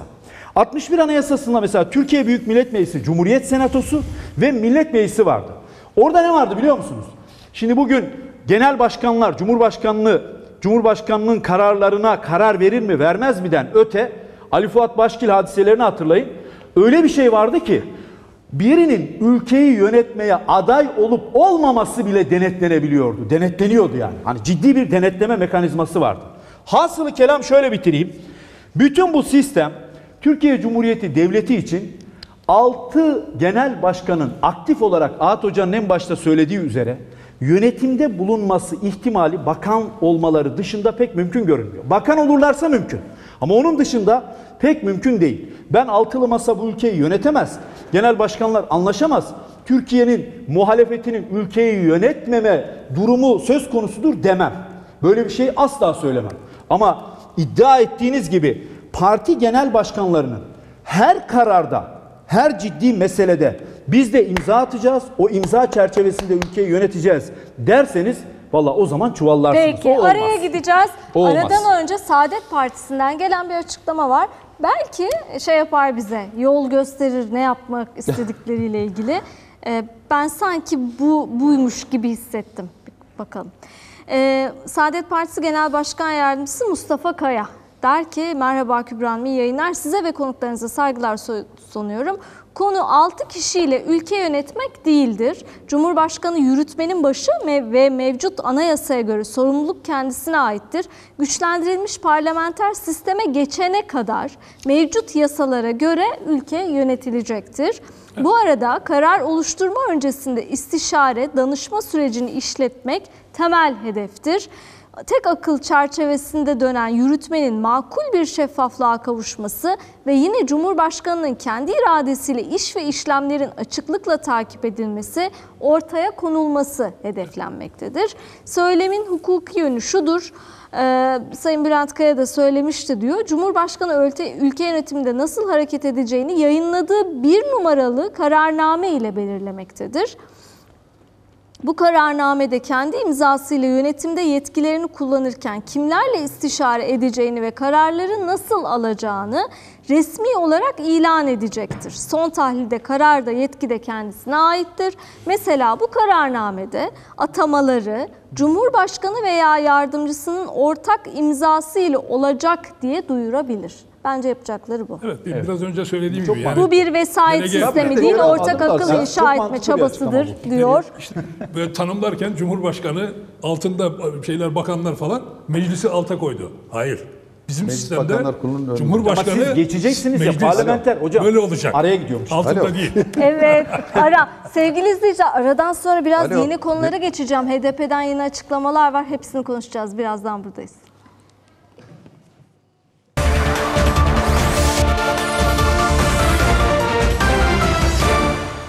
Evet, bu 6 liderin nasıl yönetime katılacağı ile ilgili 30 Ocağı kadar belli ki tartışmalar devam edecek. Bekliyoruz biz de merak ederek ama bu arada Altılı Masa'nın siyasetin, seçimlerin kaderini belirleyecek ya da kaderini etkileyecek diyelim bir açıklama da HDP'den geldi. HDP kendi adayını çıkarmayı düşünüyor. Hatta HDP eş genel başkanı Pervin Buldan cumartesi günü adeta bu kesinmiş gibi konuştu. HDP kendi adayını çıkaracak, kendi adayını gösterecek ve seçimlere kendi adayıyla girecek. Bizim Cumhur İttifakı ile ne Cumhur İttifakı ile ne de Millet İttifakı ile herhangi bir ortaklığımız yok. Ancak ilkesel yaklaşımlarımız var dedi. Ee, fakat bu konuda anladığımız kadarıyla çok net bir karar da yok. Hala böyle bir acaba dün ben şey demiştim. HDP altılı masaya bu köprüden önce son çıkış ya benimle müzakere edin ya da herkes Ya kendi yoluna mı diyor ya benimlesiniz ya kara toprağın. Ee, bir yandan da şöyle e, Saruhan Uluç HDP Grup Başkan Vekili ortak bir adayda elbette buluşmak istem- isteriz. Buluşulmuyorsa da kendi adayımızı belirleriz dedi. Bugün e, TİP'in e, Genel Başkanı Erkan Baş ve TİP üyeleri bu solda bir ittifak kurdu HDP biliyorsunuz. E, Emek ve Demokrasi platformu değil mi? Yanlış Emek ve söylemedim. Demokrasi platformu. Ee, onların bir basın yemeği vardı. Ben de oradaydım. Bu soruyu sorduk kendilerine. Çünkü HDP ile ortak hareket ediyorlar. Dediler ki biz hala ortak adaydan yanayız. Yani ortak bir cumhurbaşkanı adayı olması bizim de dışarıdan onu desteklememiz yönünde bizim irademiz. Ama HDP'nin açıklaması eğer bu altılı masa bizi ciddiye hiç almazsa veya bizim kriterlerimize uygun davranmazsa mesela şöyle bir örnek verdi e, Erkan Baş. E, diyelim Kılıçdaroğlu aday ama İstanbul Sözleşmesi'ne tamam demiyor. Bizim için bu da bir kriterdir ve o şekilde de desteklemeyiz gibi. Yani onların da böyle şartlı bir desteği var ortak adaya diyebilirim. Şimdi bir bu tartışma var. Yani HDP aday çıkarırsa seçim kesin ikinci tura mı kalır? İkinci tura kalırsa bu kimin avantajına olur? Bir kere bunu bir tartışalım. İki, HDP'de Mansur Yavaş'ın adaylığı ile ilgili bir fikir ayrışması, tartışması var. Bununla ilgili HDP Grup Başkan Vekili Meral Danış Beştaş dedi ki bugüne kadar karşı çıktığımız tek isim oldu o da Mansur Yavaş. Bu sözlerine HDP Grup Başkan Vekili Saruhan Oluç'tan itiraz ya da bir tür düzeltme geldi. Biz bu açıklamayı uygun görmüyoruz dedi. Daha evvel de bu tarz söyleyenler olmuştu. Meral Hanım da sordukları için böyle demiş ama biz pozitif ya da negatif anlamda bir isim tartışmadık. Ben bu soruyu bugün Erkan Baş'a sordum. Mansur Yavaş'la ilgili bir rezerviniz var mı dedim. Hayır dedi. Hiçbir isimle ilgili bir rezervimiz yok. Her isime şu an hani bakıyoruz. Şimdi bu bunlar önemli. Bu arada bugün e, Mansur Yavaş'a yakın kaynaklardan bu tartışmalara ilişkin birer bilgi notu geldi e, bize. Mansur Yavaş'a HDP seçmeninin oy vermeyeceğine dair e, tartışmalara karşı çıkıyorlar. Diyorlar ki evet biz Cumhurbaşkanı adaylığı yarışında değiliz. Böyle bir iddiamız da yok. Ama Mansur Yavaş'ın HDP seçmeninden oy almayacağına dönük açıklamaları da doğru bulmuyoruz. İki ayrı anket çalışmasını göndermişler mesajda. Ve bu anketlere göre Mansur Yavaş aday olması durumunda %40'ların üzerinde %60 ama ortalaması %60 üzerinde oy alıyor. Yani Mansur Yavaş HDP seçmeninden oy alamaz tezine Mansur Yavaş'a ait e, yakın kaynaklar itiraz ediyorlar. Bu nasıl e, Cumhurbaşkanlığı yarışında değiliz cümlesi acaba? Bunun üzerinden Mansur Yavaş'ın yıpratılmasını doğru bulmadıklarını söylüyorlar. Hayır giriş cümlesi. Ama bir taraftan yani da biz Cumhurbaş yapıyorlar. Biz Cumhurbaşkanı yarışında değiliz Şimdi ama bu o- yani bunları da yapıyoruz. bu sonuçları gönderen kim dedin? Mansur Yavaş'a yakın Kaynaklar. kaynaklar diyeyim. Tam Ya isim çok- vermeyeyim izin Çok almadan. şey bir tanım oldu yani yakın kaynaklar. Sorayım kendisine eğer söyleyebilir miyiz değil mi? Çok yakın kaynaklar. Hayır bu bu çok yakın kaynaklar derken resmi bir ilişki Resmi varsa bir ilişki. tabii tabii. resmi Resmi ilişki varsa diyor farklı hocam, bir değerlendirmeye tabi Resmi, tutulur. resmi bir ilişki. Resmi Ahat ilişki hocam yoksa yüzde 60 diyor. 60 ne demek yani bugün? Soruyorum şimdi canlı yayında. Ee, sizin adınızı verebilir miyiz diye. Ee, şimdi biz gelelim biz bu arada tartışmaya başlayalım. Birinci soru kimden başlasam? Ahat Bey'den başlayalım. Çünkü Ahat Bey e, İyi Parti HDP'nin masayla ilişkileri konusunda net tavır ve mesafeli tavır gösteren bir parti. Kübra Hanım bir şey sor- Hocam ben e, HDP ile dün e, yakın kaynaklarla görüştüm de yani bu konuyla ilgili bugün de yazı yazdım. E, Ah, müsaadeniz doğru, olursa doğru. ben ya Kemal Kemal Bey'le başlayalım. Tamam. siz de bunu yorumlarsınız Tabii. yani. Tabii, tabii. Kemal Öztürk'ün bugünkü yazısı. Kemal sonunda- Öztürk diyor ki Sonunda değerlendirsek belki Evet. daha iyi arkadaşlardan yani. sonra. HDP ayrı aday göstermek istiyor ve bunun 7 tane sebebi var diye 7 Evet. başlık saymış bize bir Şimdi ben özetlesin. e, doğrusu bu açıklamaya şaşırdım. Yani hani ara sıra söylüyorlardı kendi adayımız şudur budur ama bu kesinlikle yani cumartesi günü eş genel başkanı yaptığı kesinlikle duymamıştık biz gazeteciler olarak. Dolayısıyla ben bu sert manevranın e, background'unu çok merak ettim. Yani bu kadar beklemiyordum işin doğrusu. Çünkü bu elinizi yani e, güçlendirebilir, zayıflatabilir, risk alacak bir e, karar.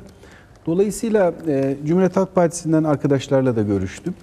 Birçoğu buna şaşırmış durumdaydılar. Yani Cumhuriyet Halk Partisi'nden milletvekili arkadaşlar, siyaseti de etkin olan isimler bu açıklamayı biraz şaşırmışlardı. Fakat HDP'de aktif siyaset yapan isimlerle görüştüğümde gerekçelerini sıraladılar bana. Bu gerekçeleri daha sonra ben kamuoyu araştırma şirketleriyle de görüştüm. Hani bunların etkisi ne olur, sahayı nasıl etkiler? Şimdi önce HDP cenahının söyleyeyim. Son derece kızgınlar altılı masaya. Yani ben bunu biraz da tepkisellik olarak gördüm Bizi bu yok kararı. sayıyorlar yani. Evet. Şimdi mesela ya bize selam bile vermiyorlar cümlelerinden bir tanesi. Yani biz onlara İstanbul'u, Adana'yı, Mersin'i kazandırdık. Şimdi bize selam vermeye çekiniyorlar, korkuyorlar. Bu olacak şey değil artık. Buraya kadar bizden. Biz kendi adayımızı çıkartırız. E bu Cumhur İttifakı'na yarar bana göre. Onu da söyledim kendisine. E ne yapalım yani alt, e, Millet İttifakı bizimle görüşmüyorsa bakanlıkları bile dağıttılar hatta diyor. Bakanlıklar hani e, siz açıklamadınız böyle bir şey ittifak olarak da gazetecilerin her zamanki spekülatif şeyleri. Ama neticede Bizi de gömdü bu arada. cümle içerisinde bakanlıkları bile dağıttılar ama bizimle oturup ya ittifakın neresindesin destek mi bunu bile konuşmadılar. Şimdi birincisi büyük bir tepkisellik var HDP içerisinde. E, Ben de doğrusu zaman zaman hak vermiyor değilim. Yani bu kadar e, seçimlerde belediye kazandırmış bir partinin e, içinde misin dışında mısını bırakın. Yani yan yana gözükmekten bile çekinen bir siyasi ilişki biçimi var yani Cumhuriyet Halk Partisi'nde. Hani İyi Parti'nin tavrı zaten belli ama diğerlerinde ben bunu ne zaman tepkisel olarak çıkacağını hep soruyordum, konuşuyordum. Ama bu sefer çok kararlı gördüm yani ben e, HDP çevresini. Birincisi bu. ikincisi kapatma davası var. Kapatma davası e, olan bir partinin cumhurbaşkanı adayı çıkarmasını ben siyasi manevra olarak başarılı buluyorum. Bu şu demektir yani cumhurbaşkanı adayımız var, seçimlerde cumhurbaşkanı olacak bu partiyi kapatıyorsunuz. Bu önemli bir mağduriyet argümanıdır. Bunu da ben başarılı bir hamle olarak görüyorum şahsen. Üçüncüsü bence ellerini çok güçlendirdiler. Bakın HDP'yi konuşuyoruz. Ee, siyasi partiler HDP ile ilgili açıklamalar yapıyorlar. Bu ellerini çok kuvvetlendirecek bir hamle olarak da görüyorum şahsen. Zaten kuvvetliydi yani belirleyici bir oylar Ama şimdi düşünün e, Cumhuriyet Halk Partisi gidecek adayını e, geri çek benim adayımı destekle o da diyecek sen bana ne veriyorsun ne alıyorsun ama daha kritik bir şey var ben bugünkü yazımda bunu ihtimal olarak düşünmüştüm ama HDP'li yetkililerin açıklamalarından biz şunu anlıyoruz biraz da bir dakika Cumhur İttifakı ile de görüşebiliriz diyorlar doğru mu? Cumhur İttifakı'na da kapıyı kapatmış değiller. Kesin mi? Ama bir dakika. Cumhur İttifakı'na kapıyı kapatmıyorlar ama başörtüsüyle ilgili ikinci tura HDP randevu vermedi AK Parti'ye. Ee, ben onu birazcık Selahattin Demirtaş e, cezaevindeyken Kemal Öztürk, Cumhur İttifakı ile görüşürüz diyen HDP'li yöneticinin söylediği ne kadar ağırlığı olan bir cümle. çok ağırlığı var. Hayır, Sana söyle şöyle söyleyeyim. Selahattin yok. Demirtaş'ın cezaevinden çıkmasına karşılık biz size destek veririz derse kapalı yapmazlar kaplı. diye düşünüyorum. Diyarbakır'a Neden? Bunu. Neden olmasın? Çorlu'ya helikopterle Neden olmasın? Seçmek yani? diyebilirler. Çorlu'dan uçakla Diyarbakır'a bir Neden diyemezsin yani? Yani seçmen kitlesini ikna edemezler. Yani Seçmenin ha, beklentisi ve davranışı farklı olur. hocam ben şimdiye kadar 20 sefer yıldır İYİ 20 yıldır Parti kubbeyi sa- yıkmaz mı? sahada Cumhur siyaseti takip ediyorum da HDP seçmenini istediği yere yönlendirebilecek bir ilişkisi var HDP'nin. Yani Demirtaş'ın serbest bırakılmasına karşın ya da HDP'nin kapatılmamasına karşın bir ittifak ilişkisi niye kurulmasın ki? Kurulabilir. En azından şunu gördüm ben HDP'li açıklamalarını. Ben bu esneklikte olabilir mi diye ihtimal diye düşünüyordum ama açıklamalarından anladım ki biz her iki ikinci turda finale kalacak adayla da görüşebiliriz açıklaması var. Yani bu, bu çok önemli bir açıklama. Ee, ikinci turda zaten eğer kalırsa ikinci tura diyelim ki Sayın Kılıçdaroğlu ve Sayın Erdoğan kaldığında HDP belirleyici bir parti olmuş olacak. Bu nedenle de iki, yani HDP'nin bu manevrasını ben kendileri açısından siyasi başarı olarak görüyorum. Ee, şu anda çok e, kritik bir yere çektiler partilerini ve siyasi partiler e, ya daha doğrusu altılı masa ki bana göre Cumhuriyet e, Cumhur İttifakı da olabilir artık. Yani Cumhur İttifakı niye ittifak yapmasın ki böyle bir şeyle? Cumhur İttifakı'nın baştan beri istediği şey aslında bu. Neden yapmasın? Yapabilir bence. Ben artık HDP'de neden yapmasın diyebiliyorum yani. Bu da olabilir. Olabilir de olabilir. Ee, dolayısıyla bu altılı masanın HDP ile ilişkisini yeniden düzenlemesi gerektirecek bir hamle ki ben onun ipuçlarını da görüyorum. Ee, siyasi olarak böyle bir şey yapacak. Çok açık bir soru Şunu da söylediler ama- affedersiniz Kübra Hanım. Kapatma davasını da sordum. B ve C planları iki plan hazırlamışlar. Ee, e, bir kere e, adaylarının kesin kadın olduğu ama hangi kadın olacağı konusunda henüz karar vermişler ama kesin aday kadın. Ee, B planlarından bir tanesi başka bir kurdukları başka bir parti aracılığıyla seçime girmek. İkincisi de mevcut partilerin biriyle Evet, TİP, birlikte EMEP, girmek. Onların listelerinden onlar- de girebilirler. ya da- konuşuldu bugün. Ya da altılı masadan birinin Ama partisiyle de orada gidebilirler. Kemal Bey, Yok. e, orada bir şey var. E, sadece kapatma Çünkü değil, ittifakları 500, var, solda 500 ittifak küsür var ya, siyasetçi içinde e, siyasetten yasaklama olayı var değil mi? Yani davada. Tabii. Tabii, Sadece Ve şu andaki şey yok, milletvekillerinin neredeyse büyük bir Yasak kısmını 500 kapsıyor. isimle ilgili 500 küsür. e, Fakat hocam şunu talebi hepimiz biliyoruz yani HDP'nin ya da o hareketin kapatılan son partisi ilk partisi de değil son partisi de değil. Ee, kapatıldıkça güçlenen, kapatıldıkça büyüyen bir parti var burada. Ee, bu sefer de bu e, kapatma davası zaten HDP'nin bütün tabanını konsolide etmiş durumda.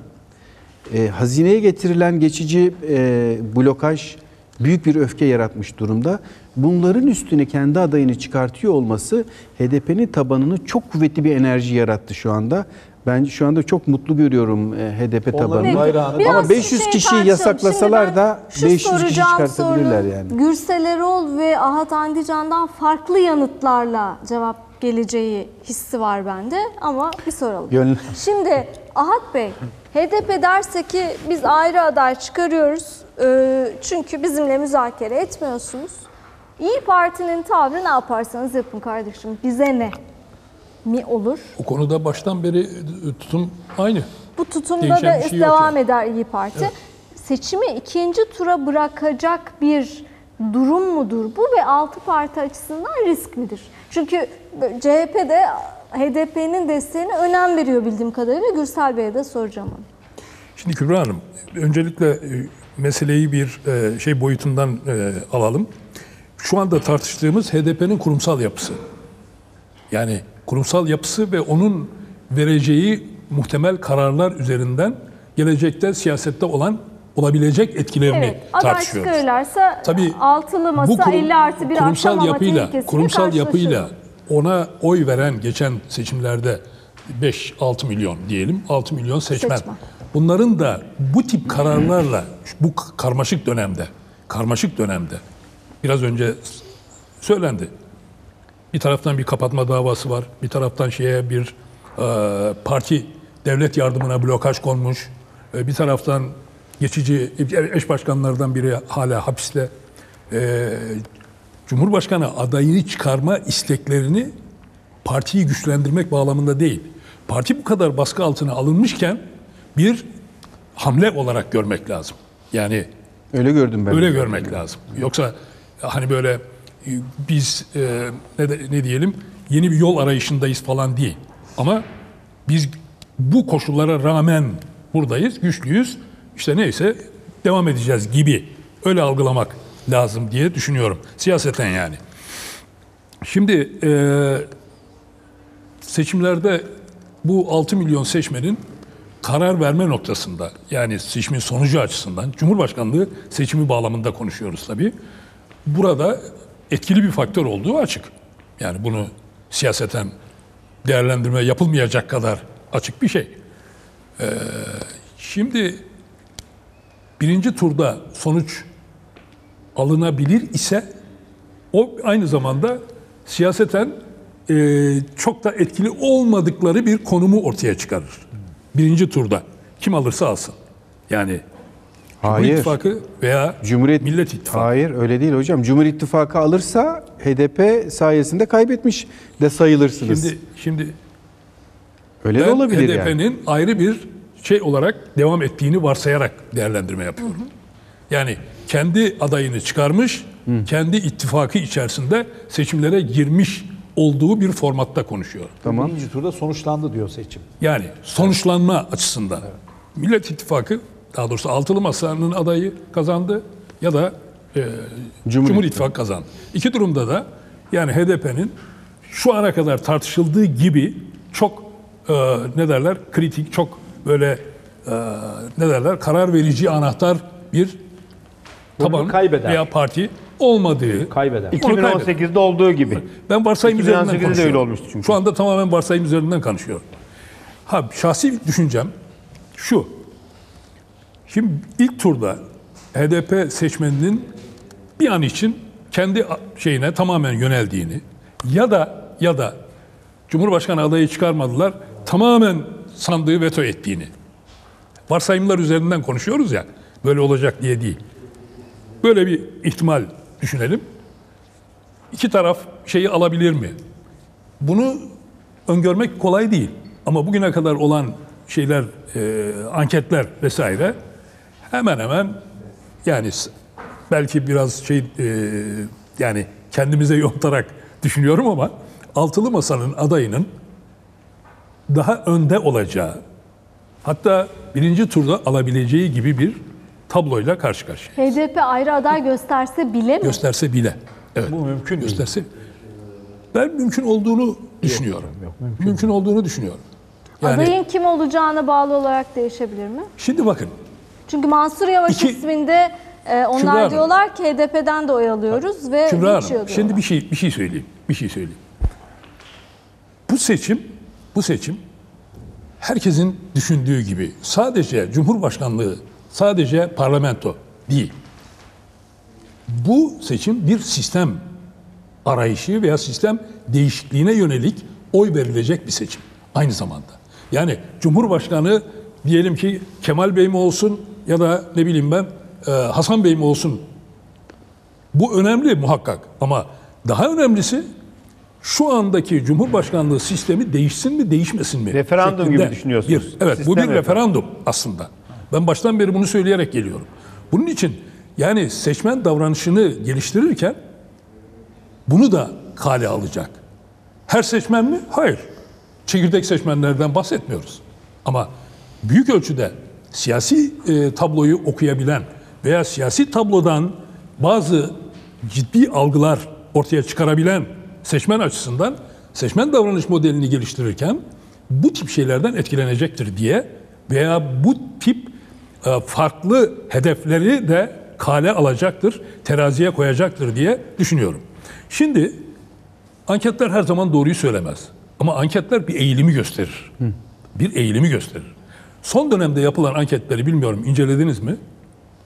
Ortalamasını aldığınızda bu sistem değişsin evet bu sistemin değişmesi gerekir diyen seçmen daha doğrusu anketteki e, katılımcıların yüzde 65'e varan bir seviyede sistem değişmeli diyor. O zaman seçimi %65'te alıyorsunuz Tabii anlamına. Gürsel Bey de aynısını diyor. Gürsel Tekin Öyle de. değil mi yani? O anlamına 50 artı 1'li olmaz. 65'te Yüzde, yüzde 55 ile 65 arasında bu sistem değişsin diyor. Partiyle alakalı değil. Bu Millet İttifakı'na oy alakalı vereceğiz anlamına gelir aslında. Öyle değil mi yani? Gelir olur, mi? olur Gelir ya mi? da Dolaylı yoldan olur öyle bir ya da- beklenti var. Yani öyle gösterirse göstersin. Sistem değişsin diye diye şu andaki ya açın şeyi göreceksiniz. E, zannediyorum e, bir site var. Bu bütün e, ne derler anketleri hepsini topluyor. Aylık olarak da e, değerlendiriyor. Ya orada görmek mümkün internette. Bunu görüyorsunuz. Mesele sadece Cumhur İttifakı'nın adayı veya Millet İttifakı'nın adayı olmanın ötesinde bir şeye sahip. Hocam biz Yani- niye bunu görmüyoruz yani Evet, sahada? Hayır. Sahada bak Yani ben sahada Konuşmanın- sistem değişikliğini Kemalciğim, sorgulayan Kemalciğim, böyle bir dakika. bunu Kemalciğim, bir dakika. görmedim Ben yani. konuşmanın konuşmanın başında bir şey söyledim. Dedim ki bakın bu konuda bir değerlendirme, bir yargı yani biri bu seçimde Cumhurbaşkanlığı seçimi için konuşuyorum bir kere daha onu altını çizeyim. Cumhur İttifakı adayım kazanır, Millet İttifakı adayım kazanır değerlendirmesini yapmak bir seçim sandığı ortaya konmadan şu demek zor. Ama doğru olan veya belki çıkarsama yapabileceğimiz bir ölçü olarak bunu söylüyorum ve derken bunu söylerken de şunun altını çiziyorum. Anketler her zaman ankette böyle çıktı diye bu doğrudur anlamına gelmez ama birçok anket belli bir süreci gösteriyorsa, o eğilimi gösteriyorsa o zaman o noktadan yorum yapabiliriz. Hayır. Ben bunu söylüyorum. İlgili şimdi sahada ben bunu görmüyorum demek bana göre subjektif bir tanımlama olur. Bak ben Doğru. siyasetçiyim. Ben siyasetçiyim. İstanbul'da son dönemde sokak sokak neredeyse dolaştık. Ana, İyi Parti olarak biz mahalle mahalle Anavatan dolaştık. Mahalle mahalle dolaştık ve burada buna rağmen ben şunu demiyorum. Ben şeyden böyle bir algıya sahibim. Hayır. Belli bir bilimsel temeli olması lazım. İşte o anketleri de onun için kullanıyorum. Buradan çıkma var- varmak Hocam, istediğim nokta şu. da aynı Varma, şimdi buna buna katılırsın, katılmazsın. Ben onun şeyinde değilim. Ama şimdi bu soru bana yöneltildi. Ben de mantığımın gerekçesini altına altını doldurmaya çalışıyorum. Anlatabildim mi? Katılıp katılmamak sana kalmış bir şey tabii. Yani tekrar başlangıca dönüyorum.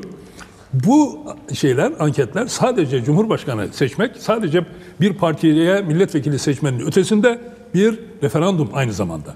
Ve seçmenin bir kısmının bir kere daha altını çiziyorum. Hepsi değil, çekirdek tabanlar değil ama bir kısmının bunu algıladığını gösteren anket sonuçları var. Yani E şimdi buradan %65.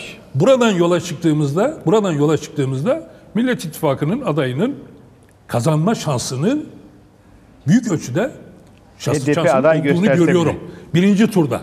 Şimdi gene varsayım, gene bir senaryo. Kazanamadı. Ben bir eski yani hayli bu yılları yıllarını Siyasete neredeyse dirseğini diyelim e, siyaset şeyinde masasında eskitmiş bir arkadaşınız olarak orayla ilgili yorumum da şu olur. Tarafsız bir yorum yapıyorum. O da şu. Amerikalıların siyaset sosyolojisine e, kattıkları önemli bir şey vardır. Bandwagon effect derler.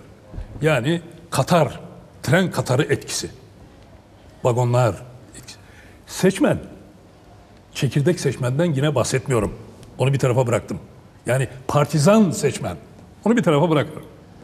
Partizan olmayan, seçimden seçime çeşitli gerekçelerle, kişisel gerekçelerle, siyasi gerekçelerle, kültürel gerekçelerle ya da ekonomik gerekçelerle bir uçtan bir uca doğru savrulabilen, değişebilen seçmen için gördüğü Katar'daki vagonların sayısı ve gücü önemlidir.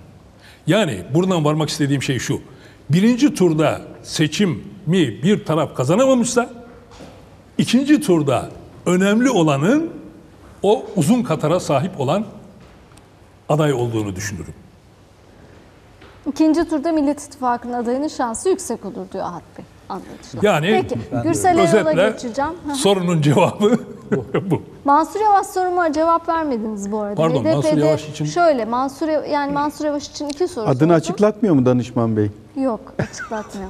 Ee, Mansur Yavaş'la ilgili... Ama bir şeyi açığa vurmuş oldu. Yakından takip ediyorlar Cumhurbaşkanlığı oranı seçimini. çok yüksek ya. %60. Dün bizim yayında tartışıldı bu aslında. Şöyle, e, Mansur Yavaş'ın adaylığı ile ilgili HDP içerisinde e, biz o isme kafadan karşıyız diyenler var. Garopaylı'nın da bu akşam Evet, bir Meral şey Akşener ve Mansur Yavaş'ı kesinlikle kabul etmiyoruz diye bir açıklaması var. Yeni bir tweet.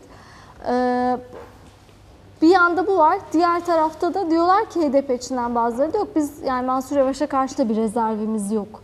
Ee, iki belediye başkanı sık sık Meral Hanım'ın da dillendirdiği adaylardan biri olduğu için e, Mansur Yavaş formülünü siz nasıl görüyorsunuz? Yani HDP seçmeninden de oy alır mı? Sizin dediğiniz bu formülasyona nasıl oturuyor Şimdi Mansur soruyu Yavaş? Mansur Yavaş'ı formülünü siz nasıl görüyorsunuz diye sorarsan bu altılı masa ile ilgili bir soruyu bana yönetmiş olursun.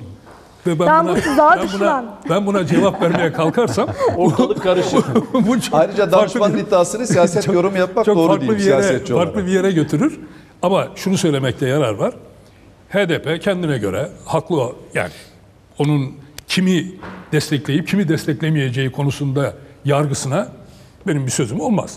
Yani ne kimi istiyorlarsa onu desteklerler. Onda bir şeyim yok. Ama altını çizerek bir şeyi tekrar hatırlatmak istiyorum.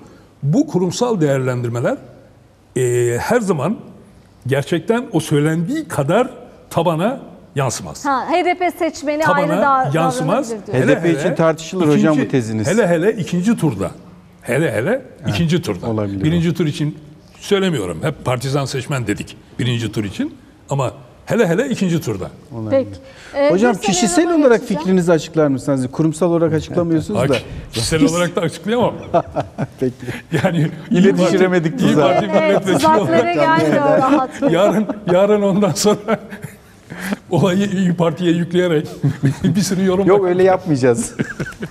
Peki. Gürsel Erol'a döneceğim. Gürsel Bey, HDP'nin ayrı aday çıkarması CHP'nin soğuk baktığı, riskli bulduğu bir şey midir? Size göre HDP'nin bugün işte biz ayrı aday çıkaracağız demesi, altılı masanın ya bir dakika durun, e, gitmeyin demesi gereken bir şey midir?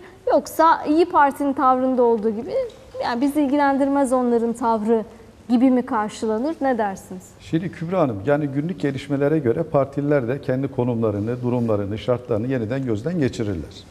Yani zaten HDP'nin aday çıkarmasıyla ilgili söylem bugün gündeme oturmuş bir söylem değil.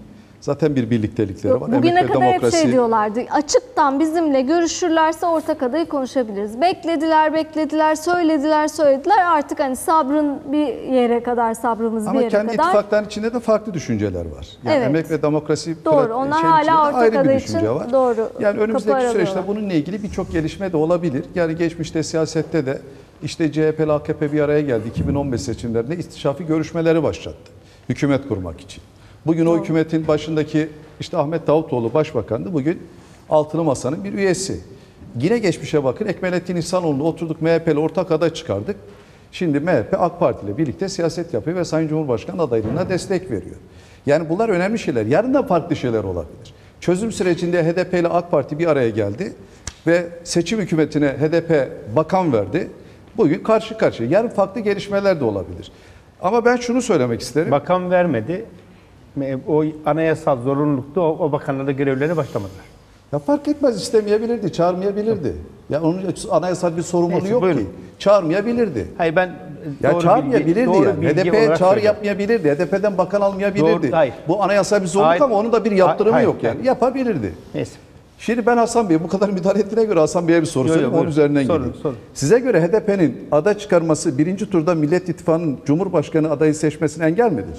Ee, bana cevap e, ha- söz Hayır ben bir soru Kısa bir üzerinden bir kurgu oluşturacağım. Ya ha, ha, kurgu olacak benim cevabım. benim.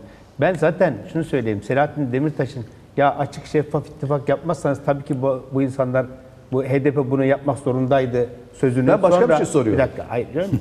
Sonra sonra Pervin Soru sormakla yanlış yaptın. Pervin Buldan Pervin Buldan'ın 23 Haziran'daki kurduğumuz ittifak zımni bir ittifaktı. Biz artık şeffaf bir ittifak Evet. istiyoruz. Ya ben bunu sormuyorum. Ama bunun üzerine yapmıyorsunuz. Hasan Bey bunu sormuyor. Cümlesini. Sonra Duran, Duran Kalkan'ın 31 Ocak'ta dağdan Bak, yaptığı CHP ittifak yapmasını kor- Ya sormuyorum ki ben size. Yaptığı Sorarsan üzerine- onu da sormuyorum. Ben Başka bir soru Ya siz soruyorum. soru Sordunuz. sorabilirsiniz de cevap HDP verme hakkı iyi da de yani- vermiyor işte. İyi de ben- HDP aday ben- çıkarmadığı ben- zaman ben- Millet İttifakı'nın bu seçimi birinci turda alma şansı var mı? Ben cevap Ki vereyim mi? ikinci tura Ben kalır diyorsunuz. mi? Ben, bir cevap şey söyleyeyim Daha mi? Ya ben, ben cevabımı söyleyeyim. Evet, hayır. Ben- Yani çok kısa bir cevap. Ben geçen sene Ramazan'da CHP lideri Kemal Kılıçdaroğlu'yla İyi Parti Genel Başkanı Meral Akşener'in bir iftar yemeğinde buluştuktan sonra Akşener'in çıkıp e, HDP'ye üçüncü bir yol öneriyorum. Onlar kendileri e, Aday seçime çıkarsın. gitsinler. Seçime gitsinler. Biz de ittifak olarak seçime gidelim, aday çıkartalım cümlesini daha anlamlı bulduğum için ben bu soruyu böyle cevaplandırıyorum. Dolayısıyla Ama bir evet, hayır, ben de hayır, merak hayır, hayır, hayır. Çünkü Buna şöyle zaten- söyleniyor. Buna HDP zaten ayrı aday çıkarırsa Millet İttifakı bu seçim birinci turda alamaz deniyor. Öyle mi değil mi E, size? bilmiyorum ben. Cevabım yok. Bu da güzel bir cevap. Peki tamam bu da bir Yani cevap. bu da güzel bir Geleceğim cevap. size tekrar ama Hayır, bu da buradan güzel nereye bir- varmak bu da güzel istediğini bir cevap. duyalım Gürsel Hanım. Yani öyle de olsa Şimdi böyle de benim olsa cümlem çıkaramaz üzerinden demedi. kurgusu- Bilmiyorum demesi bir umudun varlığıdır yani. Bir O da kurgusal- güzel bir cevap. Yani kurgusal tam bir şey cevabımızı almadık da. Benim cevabımın merak etmemenizden alınmıyor. Ama Hasan Bey bana müdahale etmeyin. Evet mi hayır mı? Kesinlikle. Faruk Bey sen bana müdahale etmedin Yani de. alamaz. Alamaz ama bu Benim cevabımı merak ediyor musunuz? Evet. Adaya bağlı. ben şöyle söyleyeyim. Alamaz artı Millet İttifakı'nı müthiş rahatlatan bir şey olur bu. İnanılmaz rahatlatır. Çünkü seçim yüzde yüz. Cumhur İttifakı'nı demek istiyorsun. Hayır, Millet Hayır, Millet İttifakı'nı. Diyor. HDP Zaten- aday çıkardığı müddetçe... Çünkü zaten altılı masa Millet ortak aday çıkartamayacak arkadaşlar. Bak, bana Millet göre. İttifakı rahatlar. Seçim Altılı ikinci masa tura ortak gider. aday ikinci çıkartamayacak. tura gider. Tabii tabii. Bütün yük üstünden Onun kalkar. için ikinci tur hesabı HDP yapın. Onlar baskısı söyleyeceğim Kalkar. Her gelince. şey kalkar. Millet Onu söyleyeceğim. İttifakı böyle kılçıksız balık yer ikinci turda. O kadar net Ya söylüyorum. güzel. Aa, bu da Evet, güzel. Peki evet, evet. bunu da tartışalım. farklı bir bakış açısı. Sıra bana Güzel, gelsin, ben de güzel. söyleyeceğim. Sevgili izleyiciler anladınız değil mi bu arada? Ben arada bir böyle tercüme ediyor gibi oluyorum. Kusura bakmayın ne olur. Faruk Aksoy diyor ki HDP'nin ayrı aday çıkarması, Millet İttifakı'nı bırakın zora düşürmeyi, tam aksine işine gelir. Çünkü HDP bize oy verecek mi göstereceğimiz adaya filan tartışmasını bir kenara bırakır. Canının istediği adayı gösterir. HDP de ikinci turda ona destek vereceği için kılçıksız balık olur onun tabiriyle. Ama Öyle eksiği mi? var. Açık ve ama- etiketiyle beyazlar E, mısınız? Kübra Hanım, onun da eksiği var, onu da ben söyleyeceğim. Tamam Gürsel Bey Şimdi sırası. burada aslında bu seçimde önemli bir ayrıntı var, detay var. Seçmenin önüne iki tane pusula gidiyor.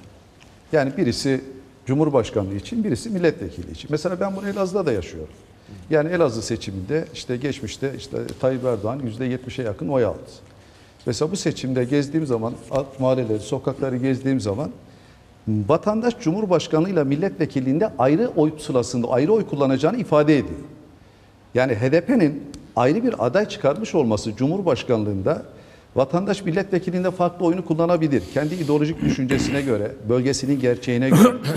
AK Parti ile hesaplaşmak adına geçmişte belediye başkanlarının alınarak kayyum atanması, genel başkanlarının Demirtaş'ın ve bütün HDP kadrolarının şu anda tutuklu olmasından kaynaklı AK Parti ile hesaplaşmak adına kendi milletvekilliğinde HDP'ye tekrar oyunu verir. Ama Cumhurbaşkanlığında bu gerçekler üzerinden bir değerlendirme yapabilir.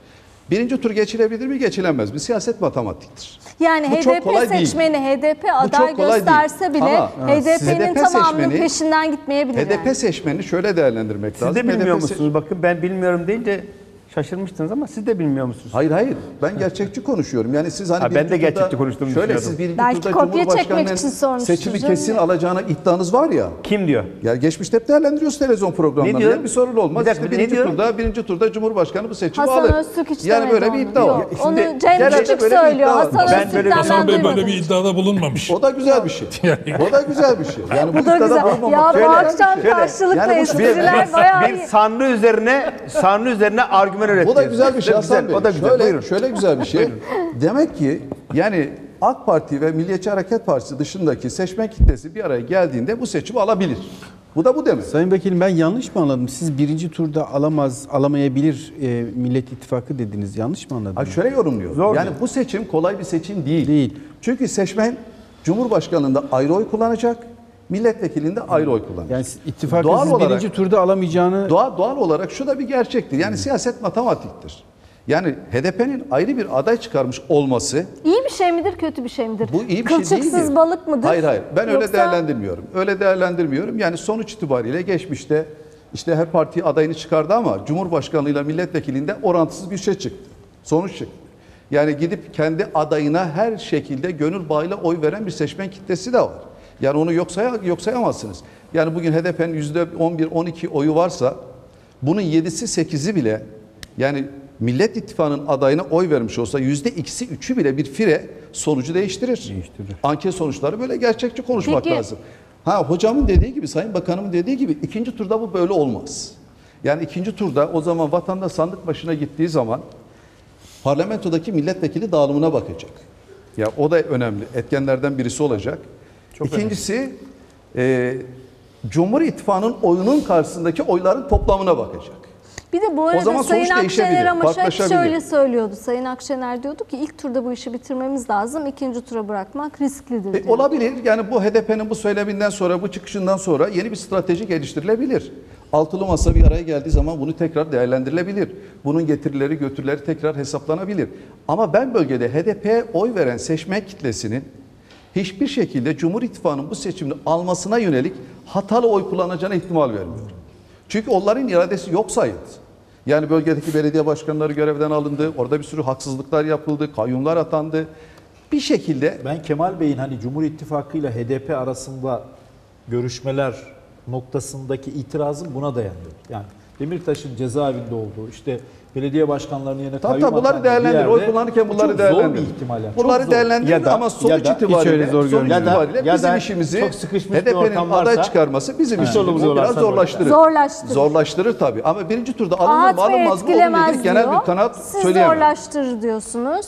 E, Faruk Aksoy diyor ki işlerine gelir tam aksine. Hasan Öztürk ne diyor? Ne diyor? Şimdi ben madde madde hızlıca birkaç şey söyleyeyim. Birincisi muhalefetin en tutarlı siyasi partisi HDP. Onca kapatma davası sürerken, onca bir sürü tartışmalar yapılırken HDP kendi siyasetini adım adım uyguluyor.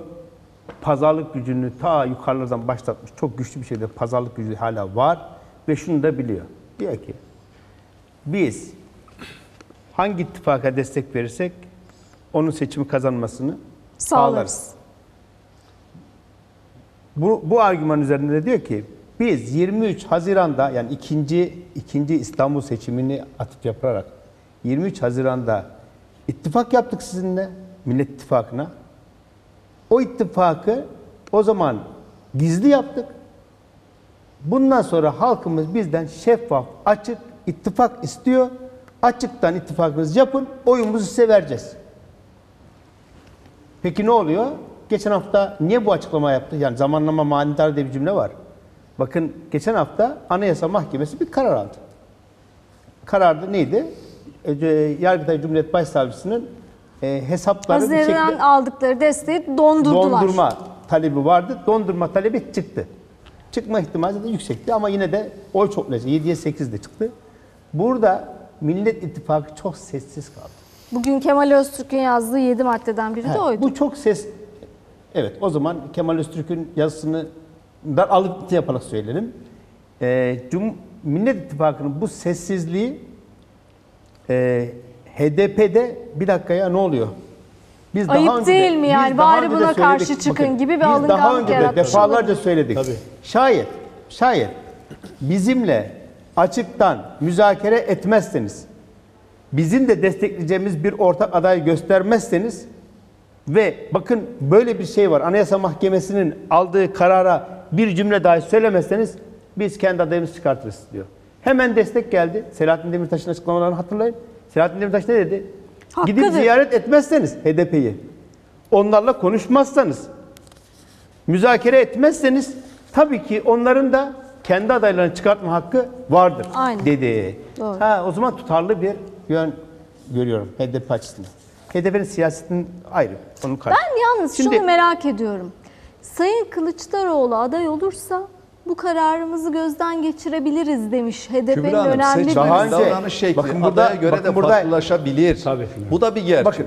Yani HDP aday çıkarsa bile Ama bu arada HDP'nin oy HDP veren ne kadar karışıkmış iç Orada yani devam eden kadro da önemli. Bak şimdi HDP oy veren seçmen kitlesinin kabullendiği bir aday olursa parti kararına bakmaksızın oy verebilir ve bu birinci turda ben- yine bitebilir. ben devam ediyorum. Aday da önemli. Ben devam aday da ediyorum. önemli. Evet, aday Ben- da önemli mi yani? Doğrudur. doğrudur. Aday mesela Ama HDP şunu o da- bölgenin şunu da hiç- seçmenin en sıcak baktığı Ama adayı şunu da hiç unutmam. Sayın Genel Başkan. Bakın ben ama şunu da hiç unutmam. HDP öyle bir siyasi parti ki mesela e, şehirlerde 110 bin e, oyla milletvekili çıkacak denen yerde 111 bin oy çıkmaz HDP'nin bir milletvekiline. 110 bin oraya gider, 110 bin diğerine gider, 110 bin diğerine gider. Hepsi milletvekili çıkartır.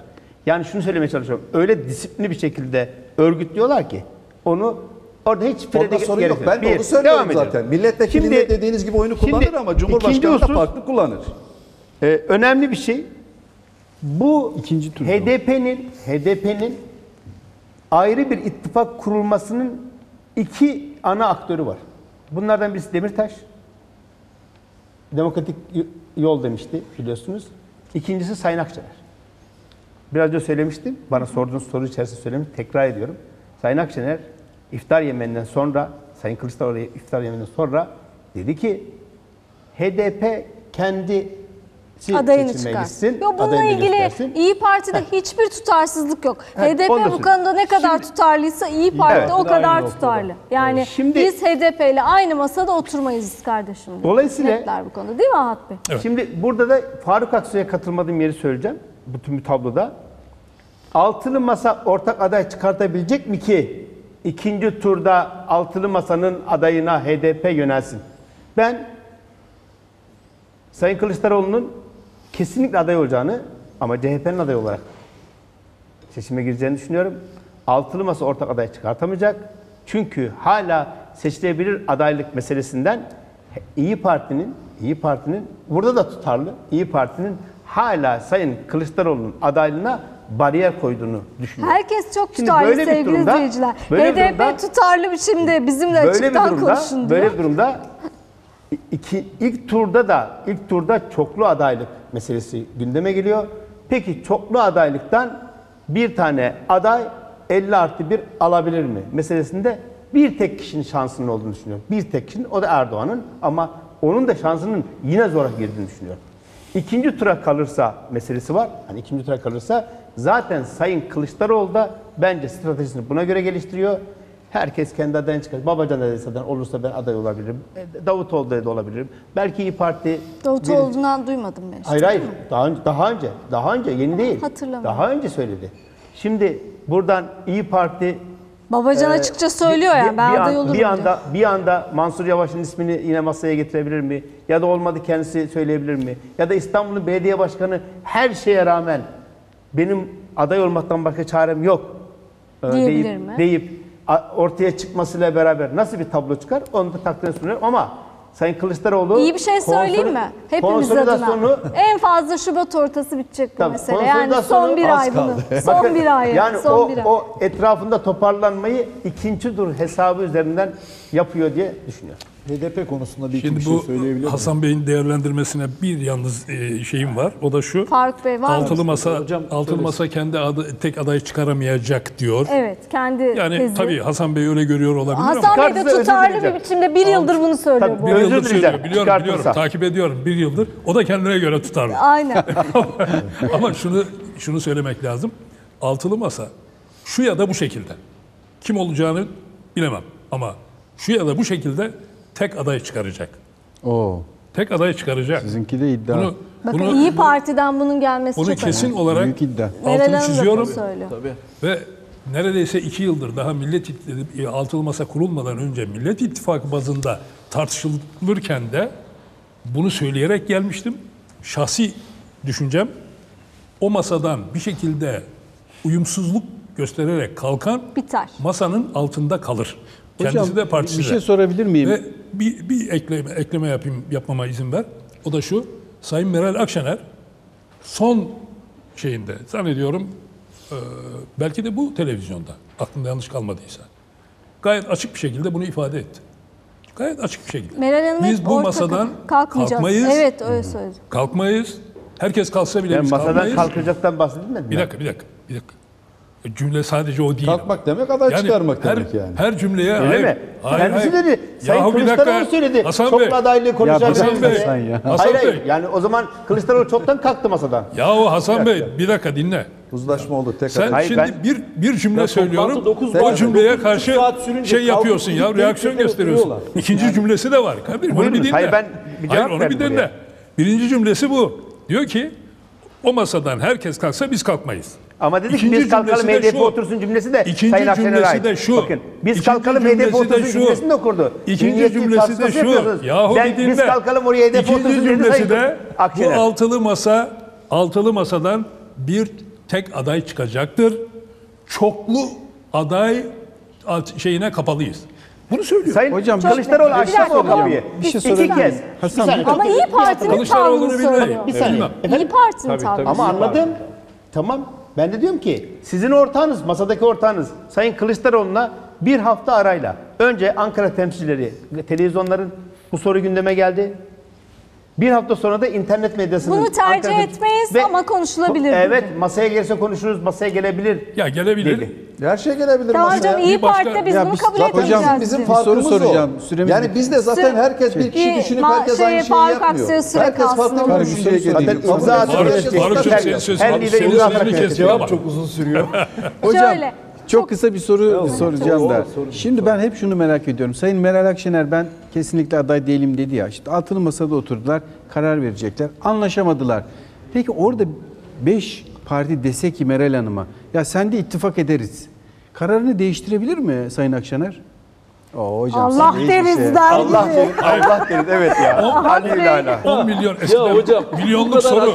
Milyonluk soru da. Bir dakika ya. Niye? Ben bu Bunda bir işaret- şey yok ki Ben bu işareti şey. niye yaptım? Onu bir açıklayayım. Bir Yani Has Bey o tek, tek tam ekran görebilir miyiz? Sorun hele niye. Değil yani. Bir dakika o hareketi Eskiden, bir daha eskiden gösterin. şu sorulurdu. Eskiden Çünkü şu görünmedi izleyicilerimiz Milyonluk soru. Bilemi yani çok zor bir soru. Ben şimdi 10 milyonluk soru demek üzere elimi açtım. Onu siz farklı değerlendirin. 10 milyonluk soru derken e, hoşumuza gider anlamında mı söyledin? Tabii ki ben kendi parti e, partimin liderinin Cumhurbaşkanı adayı olmasını istemez miyim? Sayın Genel Başkan hatta bu konuda kararını ge- getirdiği gün yani millet milletvekilleriyle yaptığı toplantıda bunu gündeme getirdi. Hiç kimsenin haberi yoktu. Orada bu konuyu çok erken gündeme getirdiniz Sayın Genel Başkanım diyen milletvekiliyim ben. Yani bunun şu anda e, erken olduğunu düşünüyorum. Belki ge- gelecekte olsa iyi olurdu gibi değerlendirme de yapmıştım. Genel sekreteriniz de öyle dedi zaten Efendim? açıklama yaptı. Genel sekreteriniz Evet, de o nedenle, kararını o nedenle düşünmesini tavsiye yani ediyoruz. ona bir şey söylemem. Peki. Ama bir böyle bir şey gelir mi gelmez mi onu de olsa göreceğiz. zaman verelim.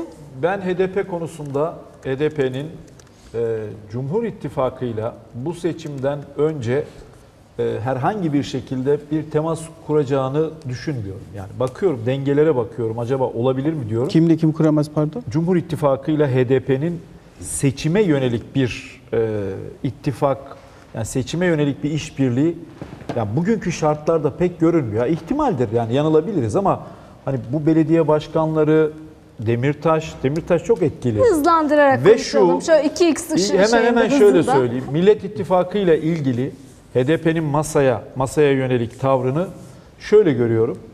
Az önce söyledim. Adaylarını belirlesinler. Ben seçimin yüzde yüz bu konuda çok iddialıyım. İkinci tura gideceğini düşünüyorum. İkinci tura gittiğinde HDP'nin bugün İyi Parti üzerinde oluşturduğu etki, daha doğrusu baskı, etki değil, baskı tamamen ortadan kalkıyor. HDP bu noktada ikinci turda şunu yapıyor, e, şunu yapıyor hemen. Diyor ki ben pazarlık yapmadan, şunu bunu yapmadan, hiçbir şey yapmadan ikinci turda bir tarafta Sayın Erdoğan, diğer tarafta Sayın Millet İttifakı'nın adayı. Peki hangisine oy vereceksin? Yani buraya kadar muhalif olarak getirdiğim bir seçimde ikinci turda herhalde karar değiştirmezler. Dolayısıyla HDP ikinci turda birinci turda adayını çıkarırsa ikinci turda biraz da mecburen Millet İttifakı'nın adayına oy verecek diye düşünüyorum. Altılı masa seçimi kazanırsa hangi yöntemle yönetecek? Liderler eşit imza yetkisine mi sahip olacak? Başkan yardımcısı mı olacaklar? Buna dair bir uzlaşı var mı yok mu? Bunlar belli değil. Daha tartışacağız 30 Ocağı kadar belli ki. Bunları konuştuk. HDP'nin ayrı aday göstermesi durumunda seçim ikinci tura mı kalır? Yoksa HDP altılı masaya bak bu köprüden önce son çıkış benimle müzakere ederek aday göstermezsen ben de kendi adayımı gösteririm mi diyor. Altılı masa bununla ilgili ne yapacak? Bunları biraz konuştuk bu akşam. Yayının sonuna geldik. CHP Elazığ Milletvekili Gürsel Erol'a, İyi Parti İstanbul Milletvekili Profesör Doktor Ahat Andican'a ki kendisine epeyce takıldık bu akşam affetsin. Ee, gazeteciler Ülke TV yayın yönetmeni Hasan Öztürk'e, Faruk Aksoy'a ve Habertürk yazarı Kemal Öztürk'e çok çok teşekkürler efendim. Hoşçakalın.